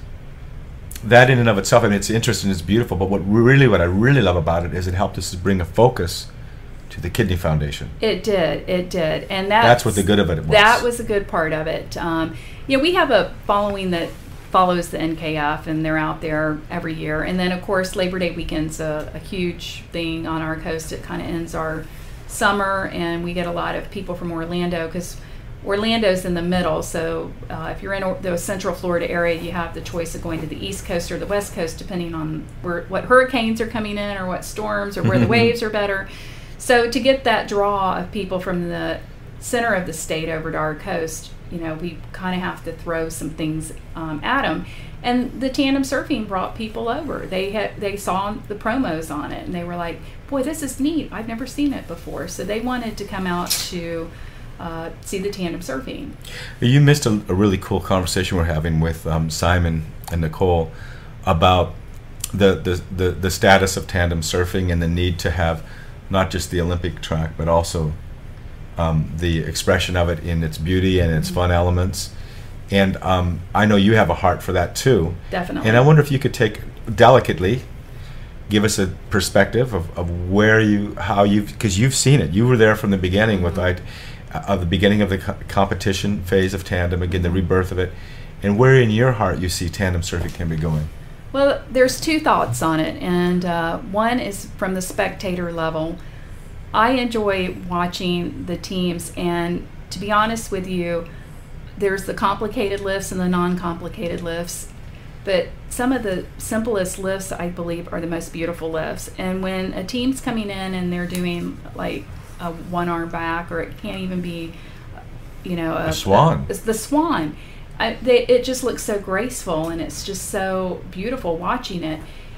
And to watch a person do it more frequently, to me, I enjoy. Then I on the competitive part of it, I think you lose some of it because it's so technical.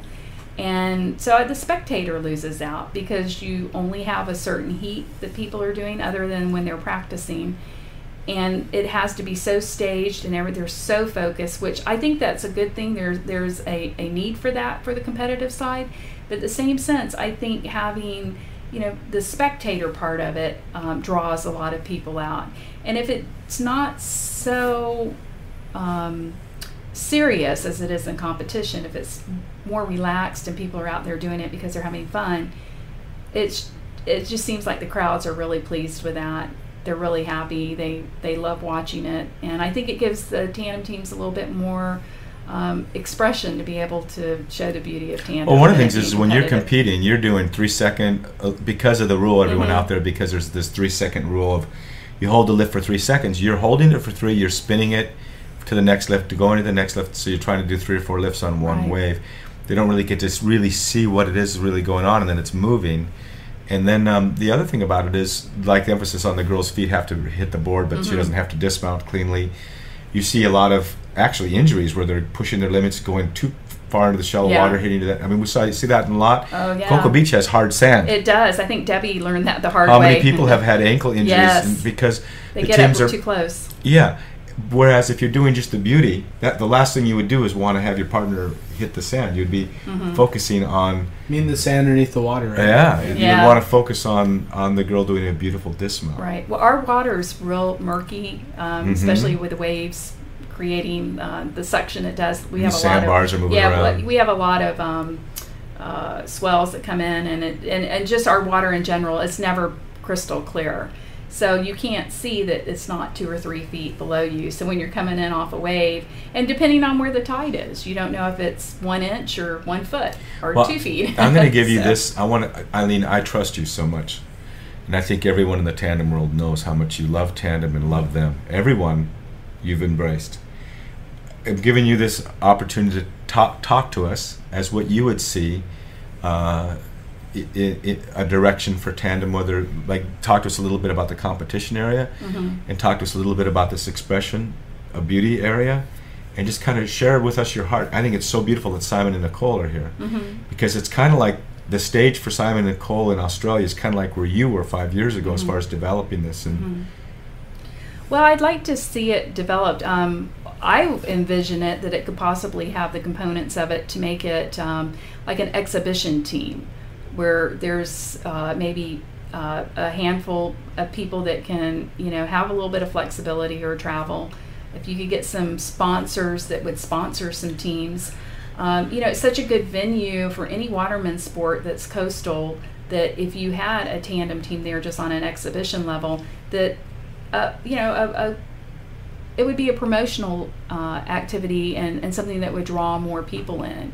So, like for some of the surf contests or uh, some of the water sports um, that we have, I think it would be great to have like a a group of people that are you know just on some sort of team that that's all that they do that they can you know kind of sy- synchronize things or, or have some sort of a show but where Yeah. it's more of a show Mhm. uh, to please the people like the old Hobie, the old Hobie team used to show up with those Hobie clothes. Mm-hmm. And Simon and Nicole, we've talked. We actually had an informal board of directors put together for this. We just Mm-hmm. it's just kind of like the right thing at the wrong time, waiting for the right things to come together. Well, you look But at yeah. like Cypress Gardens, who Mhm. for which, years which had Nicole that knows show. about. Yeah. Not Cypress Gardens, but you saw you saw stunt uh, skiing, water skiing. Yes. Yeah, Well, in Australia. that lasted for years in Central Florida. Um, you know, it, it was just a ski show, but people enjoyed watching people on the back of a boat holding onto a rope, doing very similar to what the lifts are for tandem, and that park stayed in business for years. Yep. And We talked about having um, six or seven or eight teams that are part of this this expression session group um, that could dedicate themselves to showing up to half of the events that we that we were going to do. And wouldn't it be fun to, to have an expression session team show up in Australia to go to your different? We never got to talk that much about your um, ocean safety. What do you call it? Your life saving club. Surf life saving. Yeah, and show up like that, and and and and uh, do and, and teach, and you're wearing you're wearing these kind of you're wearing like a, a, a team jersey, but it's not like it's all the teams on our expression session team. Say we have six or seven or eight of them all wear these, have the same backpacks or whatever. When we show up, it's it's a visual impact, but then we take that like when we're I don't know if we're going to get to do it this year in Cocoa Beach, but we want to take that those cameras that are focusing on us in the water and take them to where the children are having their dialysis you know and that then tandem surfing can have a real aloha meaning It, it takes it from being about just you, the Mhm. participant, to being about the joy it gives somebody else. And um, I think just taking on from what you've spoken about there is from the spectator's point of view is that they really don't know the difference between what they is don't. what is lift number one and what is lift number fifty-two. They have they have no clue And- actually. if we if we looked at it purely from a return on investment, if I can be as, as blunt, Don't you love this The- guy? the spectator is providing that investment. So what is going to give them the greatest satisfaction? And it is something that is attractive to them, which they will want to go then and advocate to somebody else. Mm-hmm. And a wonderful lesson for Nicole and I was two years ago, two or three years ago, Stephen Barry Boehne came back out to Noosa on the condition that they were just there to help, but they wouldn't compete. Now I thought that was wonderful. And we competed and we did well, and there was a number of teams that did very well. but this but- was not an ITSA competition. No, no, no. This was just the Noosa was- Festival of Surfing. And don't say it was just. It, it is the Noosa Festival, This is which the is, probably Festival, which a is- premier event of, of surfing and, festivals. And just Australia. because you didn't fit, you didn't decide to get inside an, a box. hang, on, let me finish the argument. Sorry. Um, uh, point, talking point. the what Stephen Barry did was in the few days leading up to the actual tandem competition on the finals day, just tandem because they don't do it anymore. Just tandem at Tea Tree and a couple of other little places, and uh, a couple who Nicole and I know exceptionally well and are very very well respected in the world of surfing were very blunt and said, "Look, you guys are good, but you're nothing on that old couple." And respectfully, you know, Stephen Barry in their 60s now, but Barry does it so beautifully and gracefully that you can be Ma and Pa Kettle from the back of Meekatharra sitting on the beach and think, I don't know who that couple is, but they're the best. And it's because they presented it so well and so beautifully that it, it's graceful. It was athletic, it was feminine, but also it was, it was masculine in the way in which Steve surfed as well. And I think if we can start to recognise things from a spectator's point of view, as well as continuing our goal of the pursuit of excellence of what mm. Olympia Right. is, mm-hmm. that we need to be able to find what is this happy balance. And I think we're constantly challenged about that in any sport which is subjective. We've seen it in ice skating, we've seen it in Ice equestrian, we've seen it in anything where a subjective measure as such is included. Well, I saw when I was, um, I don't know, about 20 years ago. I was out. I was with a buddy, and we were someplace out in the country, and we were running on railroad tracks. Have you ever tried that? Very hard to do. You know, run about 10 steps and then you're falling off. Run about 10 steps and then falling off. And then he's running, and then we kind of try to have a race. And at some point, we're falling, and his hand, arm grabs my arm, and I grab his arm. We could run for miles because we grabbed each other's arms. And that's why I see these two tracks the Olympic track and this expression se- session track. If you run together, Wait, you can go forever. sorry, where were you doing this? Well, I just it was a it was at a retreat place in Texas. Oh yeah. Just happened to do it. Oh yeah, that one thing. Yeah, yeah. But Eileen, um, talk to us a little bit about what you see, um, because we talked briefly about this. What you see could, if you could do three things in the competition arena, you have the right to speak. You've given so much, and you've been so loving and so good to everybody. What would be one or two or three things that you would say? Twist this, change this, make this happen. The competition environment would be better off for it.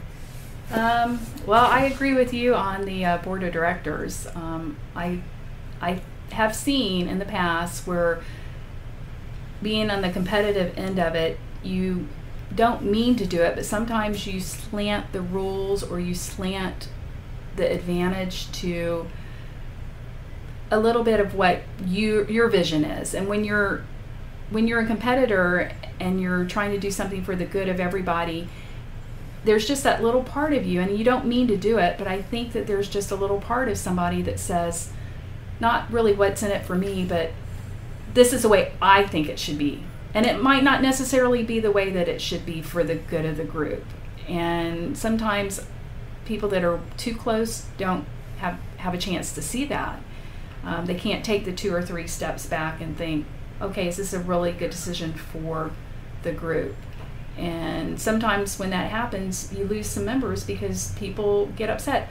I also think that there's no voting uh, power for ITSA. For, I think it's for for who who would be the voters? The the, teams. the team should be the voters. Mm-hmm. Um, I think it should be set up more like a traditional organization where you have a president, vice president, secretary, and treasurer. Mm-hmm. You have members. You have members that pay dues, Mhm. uh, and those dues can go for you know getting the venues or you know setting up things. Uh, there can be, I think there should be an award system for if there's money left over, maybe you could win some travel points or incentives. Um, I think that if if everybody got kind of really into this and everybody got it together, they could even go to people like that had Sky Miles and say, "Can you donate so many Sky Miles to For our the- teams, the- which you do, you do do anyway. We yeah, we try to do that with with passes, but that isn't always a really good thing. But um, people that have like just frequent flyer miles that Mhm. wouldn't mind maybe giving sixty thousand frequent flyer miles uh, every year to, Well, that to was- tandem teams. Mhm. But if if if you had that and you had the members of ITSA able to have a say so on things, you can have uh, something brought up that might be a good idea from any member. Mhm. It could be voted on. You know, ele- in the electronic age, it would just Mhm. be a matter of, of voting on it. They could say yes or no if it's a good idea. Mm-hmm. And I think people would one present more ideas.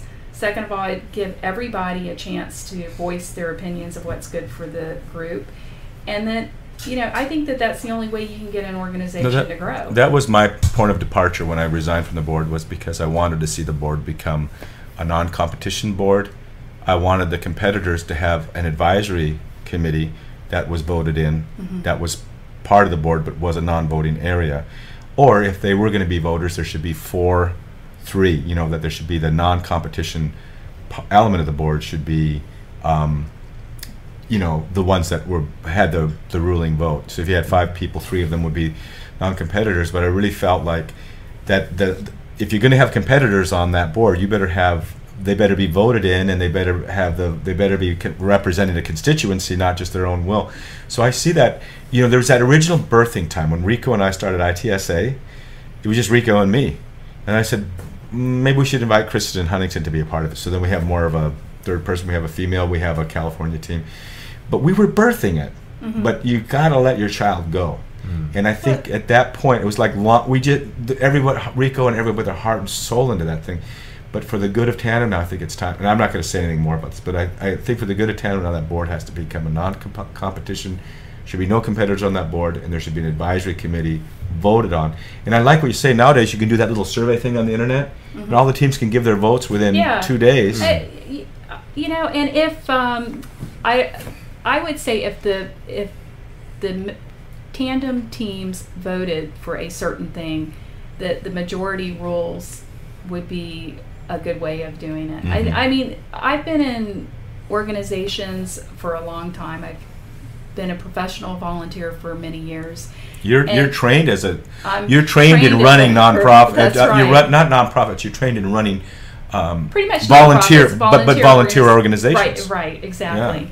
Um, in fact, I was a member of uh, the Junior League, which is known as an organization that teaches women to help uh, communities by empowering them to um, start organizations like that. And all of them, I mean, if you look at um, the Roger rules of, you know, anything, Mhm. it goes and it has a working structure that Mhm. works. So the structure isn't something new. It's been around for hundreds of years. Yeah, well, there's actually minutes and votes taken. minutes and votes, accountability, transparency, um, a lot of good things. But you cannot have growth until you get the people that are involved with it to all have an equal say. I mean, you're Mhm. going to end up hurting people's feelings or stepping on people's toes, and they're not going to think things are fair.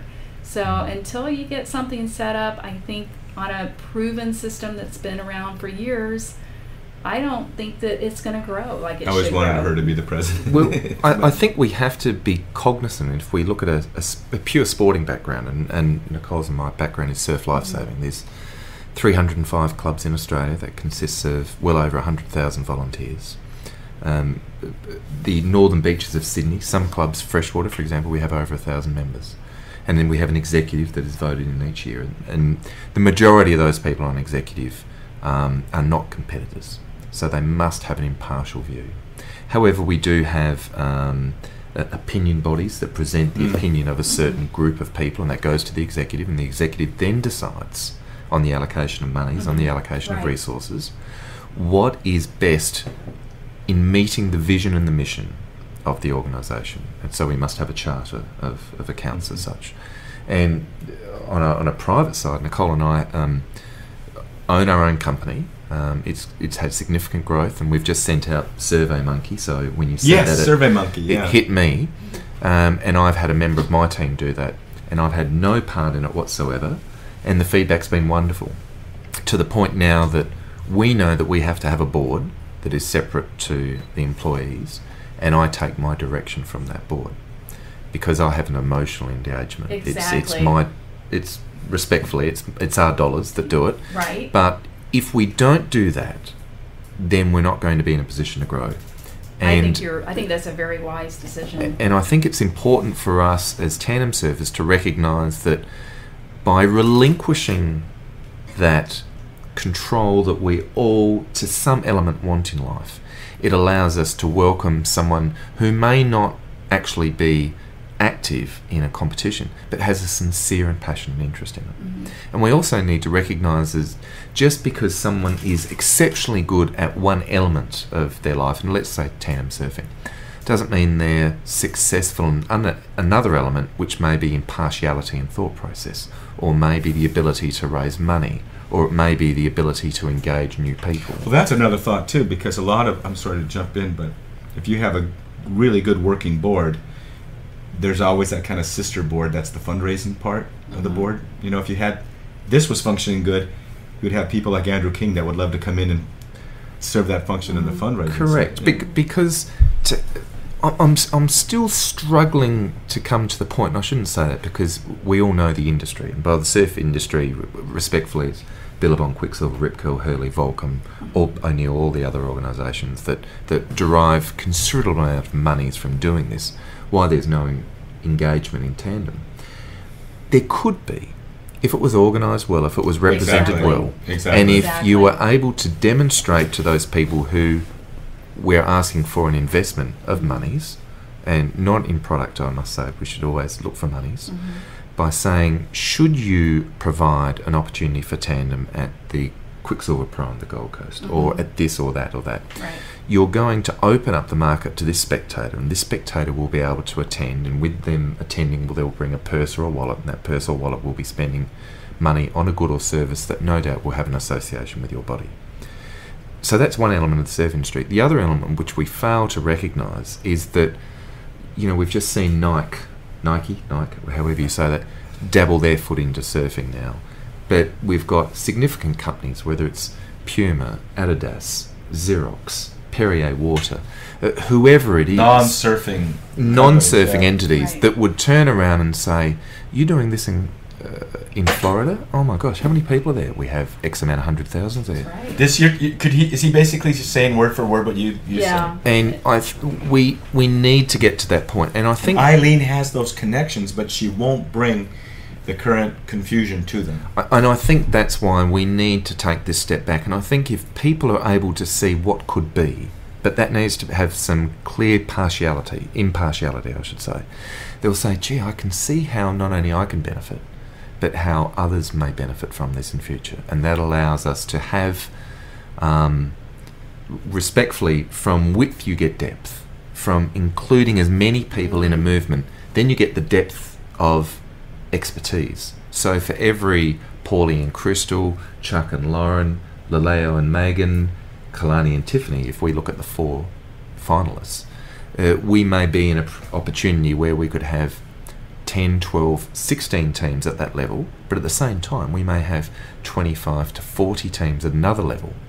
So from that, we're still allowing Olympia to be achieved if we look at tandem surfing, but we're allowing the social demographic to be engaged. And from those social people, we'll find lawyers, accountants, solicitors, uh, philanthropists, venture capitalists, plumbers, tradesmen, whoever.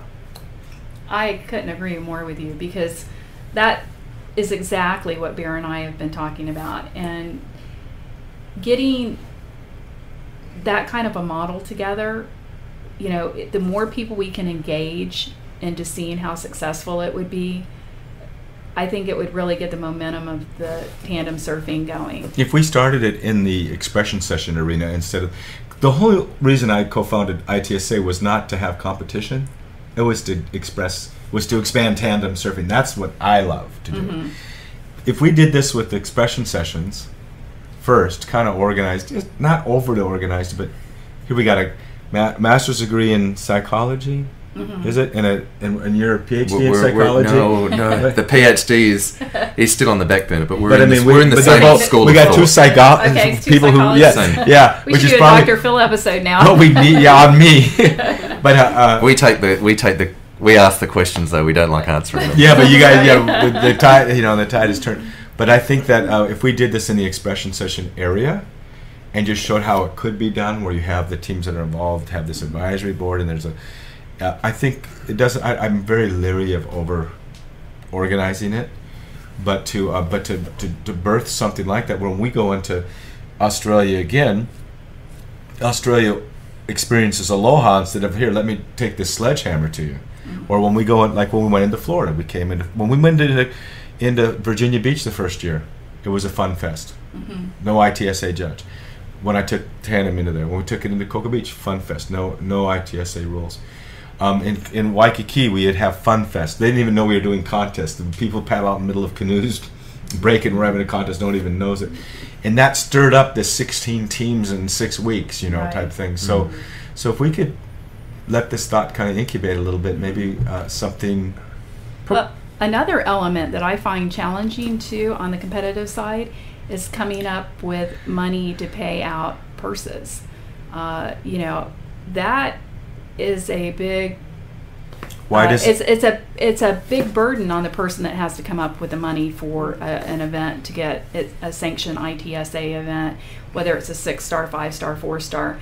Um, I, for a six star example, you're looking at um, six thousand dollars as a purse. plus there's some kind of extra I'm not involved with ITSA anymore but i think there's an additional amount too we used to always pay into france for uh, for um, um, sanctioning fees or something. Correct. so it's expensive. But you know what's sad about that? What was sad to me about that is like at the duke ocean fest I, first of all i'm not tooting my own horn but i think uh, you lead by example.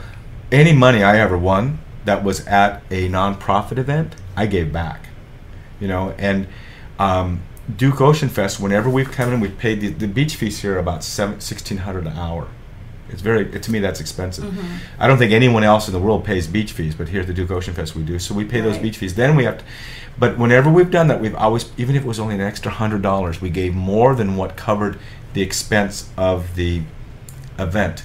And then, and what's what i don't like to see is when you go into a place like national kidney foundation and maybe eight thousand dollars is raised, but it all goes to the competitors, and there's no money going to the mm. charity. The whole event is about the charity. It's not about It is, the yeah. gl- mm. coming in and taking glory and taking money. If we could, sorry, if we could do something different in in the pursuit of competitive surfing, let's let's pick the top sixteen.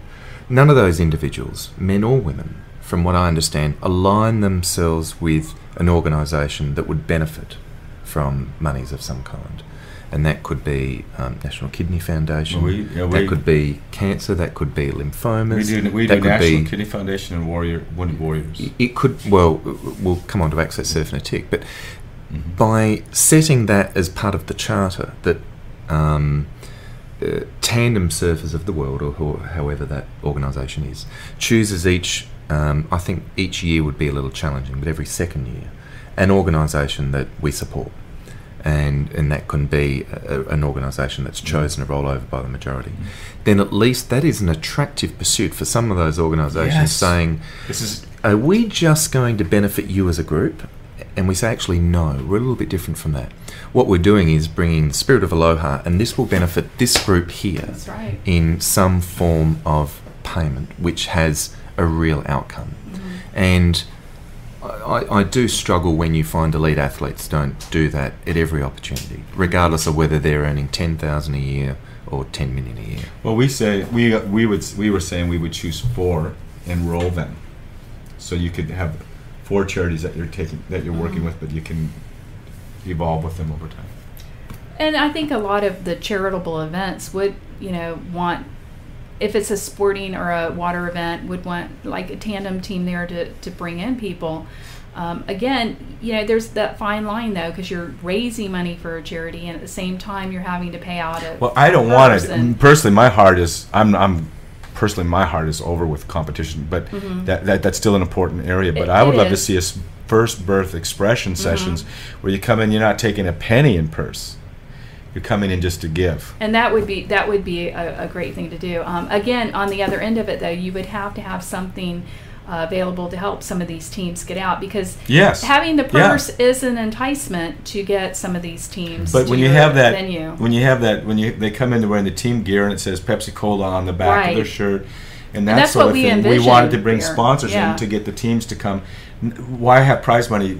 The, you know, use that money to get the teams that C- are correct, and and that can be if we just use Australia for example. I know so many people would love to come to Noosa or the Snowy, which is at Manly, Mhm. or any of the other events we have, but the, the cost of travel is so prohibitive Mm-hmm. that it's regretfully not an easily doable option. If through a um, an alignment with an organisation the prize money is not so much the importance. It is that we're able to get you from A to B instead of being Right. two and a half thousand dollars. It will cost you five hundred dollars. right. Yet in that five hundred dollars, this is the return on investment that has been bequeathed to you. Is that you are to be engaged in this community service. You were able to help in this lesson. You were Right. able to do these kind of things. Now, I, I do believe people would willingly do that, and I'll, I'll use Rico as an example. I, I dearly admire Rico. Is that the first time he, we met Rico, he had a million one people doing all the lifts in, you know, speaking out French to all these different people and a bit of English here and there, but he engaged and he gave willingly back. I think tandem people would be more than happy to do that. But again, this comes back to a charter where we need to establish this as an understanding of the assistance that could be or would be provided. Well, we talked about having a kind of a report card. If you wanted to be, you had to be invited to be on the team, which I don't know if you would need to do that. But there's a report card, and the report card wouldn't be how great your lifts would be. Did you show up to, to do the kidney dialysis? Did you do these sorts of things? And, we, and once a year you get to be on, right? We were Yeah, developing because with you were starting to do these ideas, lists. Of yeah. the, yeah, that, that that if you wanted to be back on the team, did you perform as a team member? Not so much did you just show up, but did you did you do these other things that we wanted to do for the expression session? This is just expression session. Yeah. Okay. Could you envision the same as I do, like having a, uh, let's say maybe a team of 10, 10 people, but maybe only six could show up to an event. Maybe even mm-hmm. if you got four, because that's a pretty good showing.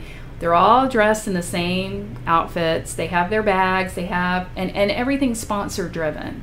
And I could see where you could go to some of these major people and present that and say, you know, again, this is a return on investment. Everybody's looking at the tandem teams when they're surfing. I mean, it is a showstopper. So, what you would get, you know, on the return for your marketing or your advertising is huge. I, mean, think we could get Chick Hydro.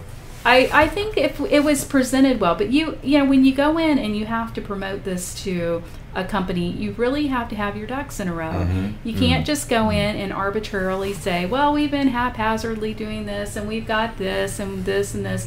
I mean, it has to be a structured plan. I think it has to have some backing. It has to have um, actually some investors that are willing to Mhm. invest in And it. they're there. And we have those. We, we certainly Mm. do have the basis for it.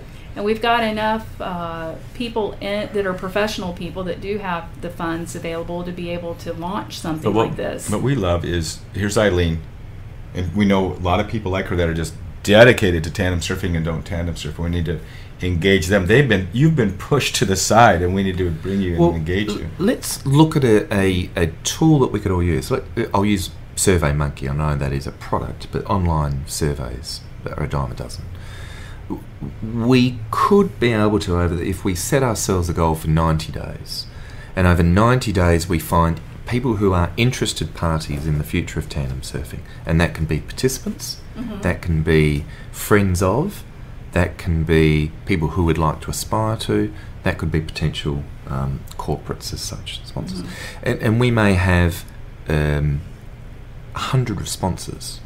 Of those 100 responses, we may have 10 from elite competitors, uh, 20 from those who give it a go, but we may find we have 70 from those who wish to be taking part. And we can ask questions of should the opportunity arise, what role would you like to play? oh, I think that's Should something occur here, how could you assist? If we're able to do that, and you will find from that um, opportunity, you will identify um, those who may would like to be considered to be part of a board, those who would like to be not part of a board, like to be part of fundraising, those who would like to coach, those who would like to do those things. That, that is the beauty of now the web is that we can access all those things, and people respectfully. I Nicole and I've only just met you now, but there's definitely an alignment there in thought process. Mhm. Oh, Yeah. there is. We Isn't- can access that through um, our business uses a wiki where we would hear from different people in our team about uh, anonymous ideas that they will champion. W- We can do that, and then within the space of 90 days, at least have a very broad framework of strategic priorities before we go any further. Well, let's let's say this, okay? Because we got to bring this podcast into a into the barn pretty soon. I've never seen Eileen's legs shake like that.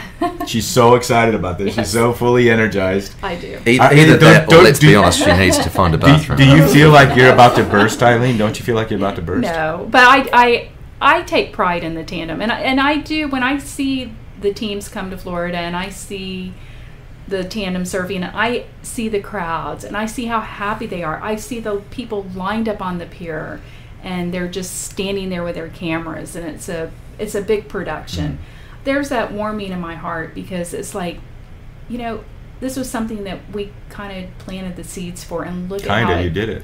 how it took off Yeah. and I I just know how happy it makes me and I know how happy it makes a lot of people that love to see tandem. I just think it's such a good thing that it needs to go in a positive direction and I want to see uh, the members of ITSA and all the team people uh, just be able to thrive and I think if there's some basis of some of the things that we've talked about and not just keep it on. I think the competitive end is such a focus. It's like you're tunneling down to a very small goal. It's a it's a huge goal in a way, Right. but it's like you have the funnel and it's going down to a very very tiny little outlet Mm-hmm. and that's not a good role model for tandem. it, it needs to be that that whole thing needs to be cut off and it Flipped needs, over. and- or flipped over. Right, exactly. It should be the opposite. It should be the Mhm. tiny hole at the top and the pouring out at the Look bottom. at today, the expression session. Exactly. Look at this. Uh, my daughter and another girl paddled out together, having a blast. Moses with three little girls on his board, and the best of all, as you guys are paddling in, in with showing aloha to give us a little bit more waves, a new team just paddled out. I mean, I knew the beach boy. He grabbed some girl off the beach. He said he couldn't stand anymore. He wanted to be out there with us. That's that's the funnel being flipped over. Well, I was announcing, and a couple of things that I would keep telling uh, the people on the beach is, you know, hey guys, you can do this. You know, in fact, I used the analogy as I, I said, think about 1930s when you know Duke was out here, and the Beach Boys, how they would just take a tourist and say, hey, you want to go on my board with me? Get them out in the water, and they were out in the water, and they were doing a shoulder sit, and they were coming in on the beach, and how excited the tourists got. So I was trying to get that momentum going with the crowd out there, and I was also telling them too, Bear, that they could go on your website and watch the. Video we had a lot of hits had. yesterday on our website. I told them that they We could go today. on your website, look at your Mhm. video of how to actually do the lifts. Bearswave.com. Yeah. bearswave.com and I told them they could go on, they could look and see how to do an, the initial lifts like a cradle into a swan uh, on land and that uh, you know they could give it a try. Mhm. That I was empowering them to to want to do that Mhm. today. So hopefully took that into consideration. Simon's So- got one more. Just, and I know we're just wrapping up. One little organisation that has done exceptionally well uh, is a company called Global Surf Industries. Um, they are the producers of, of surfboards around the world, and they produce quite a bit. They're in competition to Surftech, C4, um, Mhm. Boardworks, Nash, all these others. But the the the gentleman that owns that company has developed a motto over the last few years, and now it's been pinched, for lack of a better frame, and it's "Life is better when you surf." Mm. And Kel uh, is this gent's nickname, and Kel has made it the ethos of his company is to encourage as many people as possible to surf. And he's copped a bit of flack because why are you putting more people in the water? And he says, I think you're missing the point. Could you imagine if we're surrounded by people that benefit from this aloha and stoke that you and I do? how much calmer it would be out there, Mhm. how much easier it would be to shop, how much better it would be to do business and the like. Yeah, they're acting greedy. Oh yeah. Correct. So exactly what you're saying is going back to the, the 30s when the Beach Boys originally wanted people out into the water. I like to believe that they were wanting to say, "This is something we've got. We want to share it with you."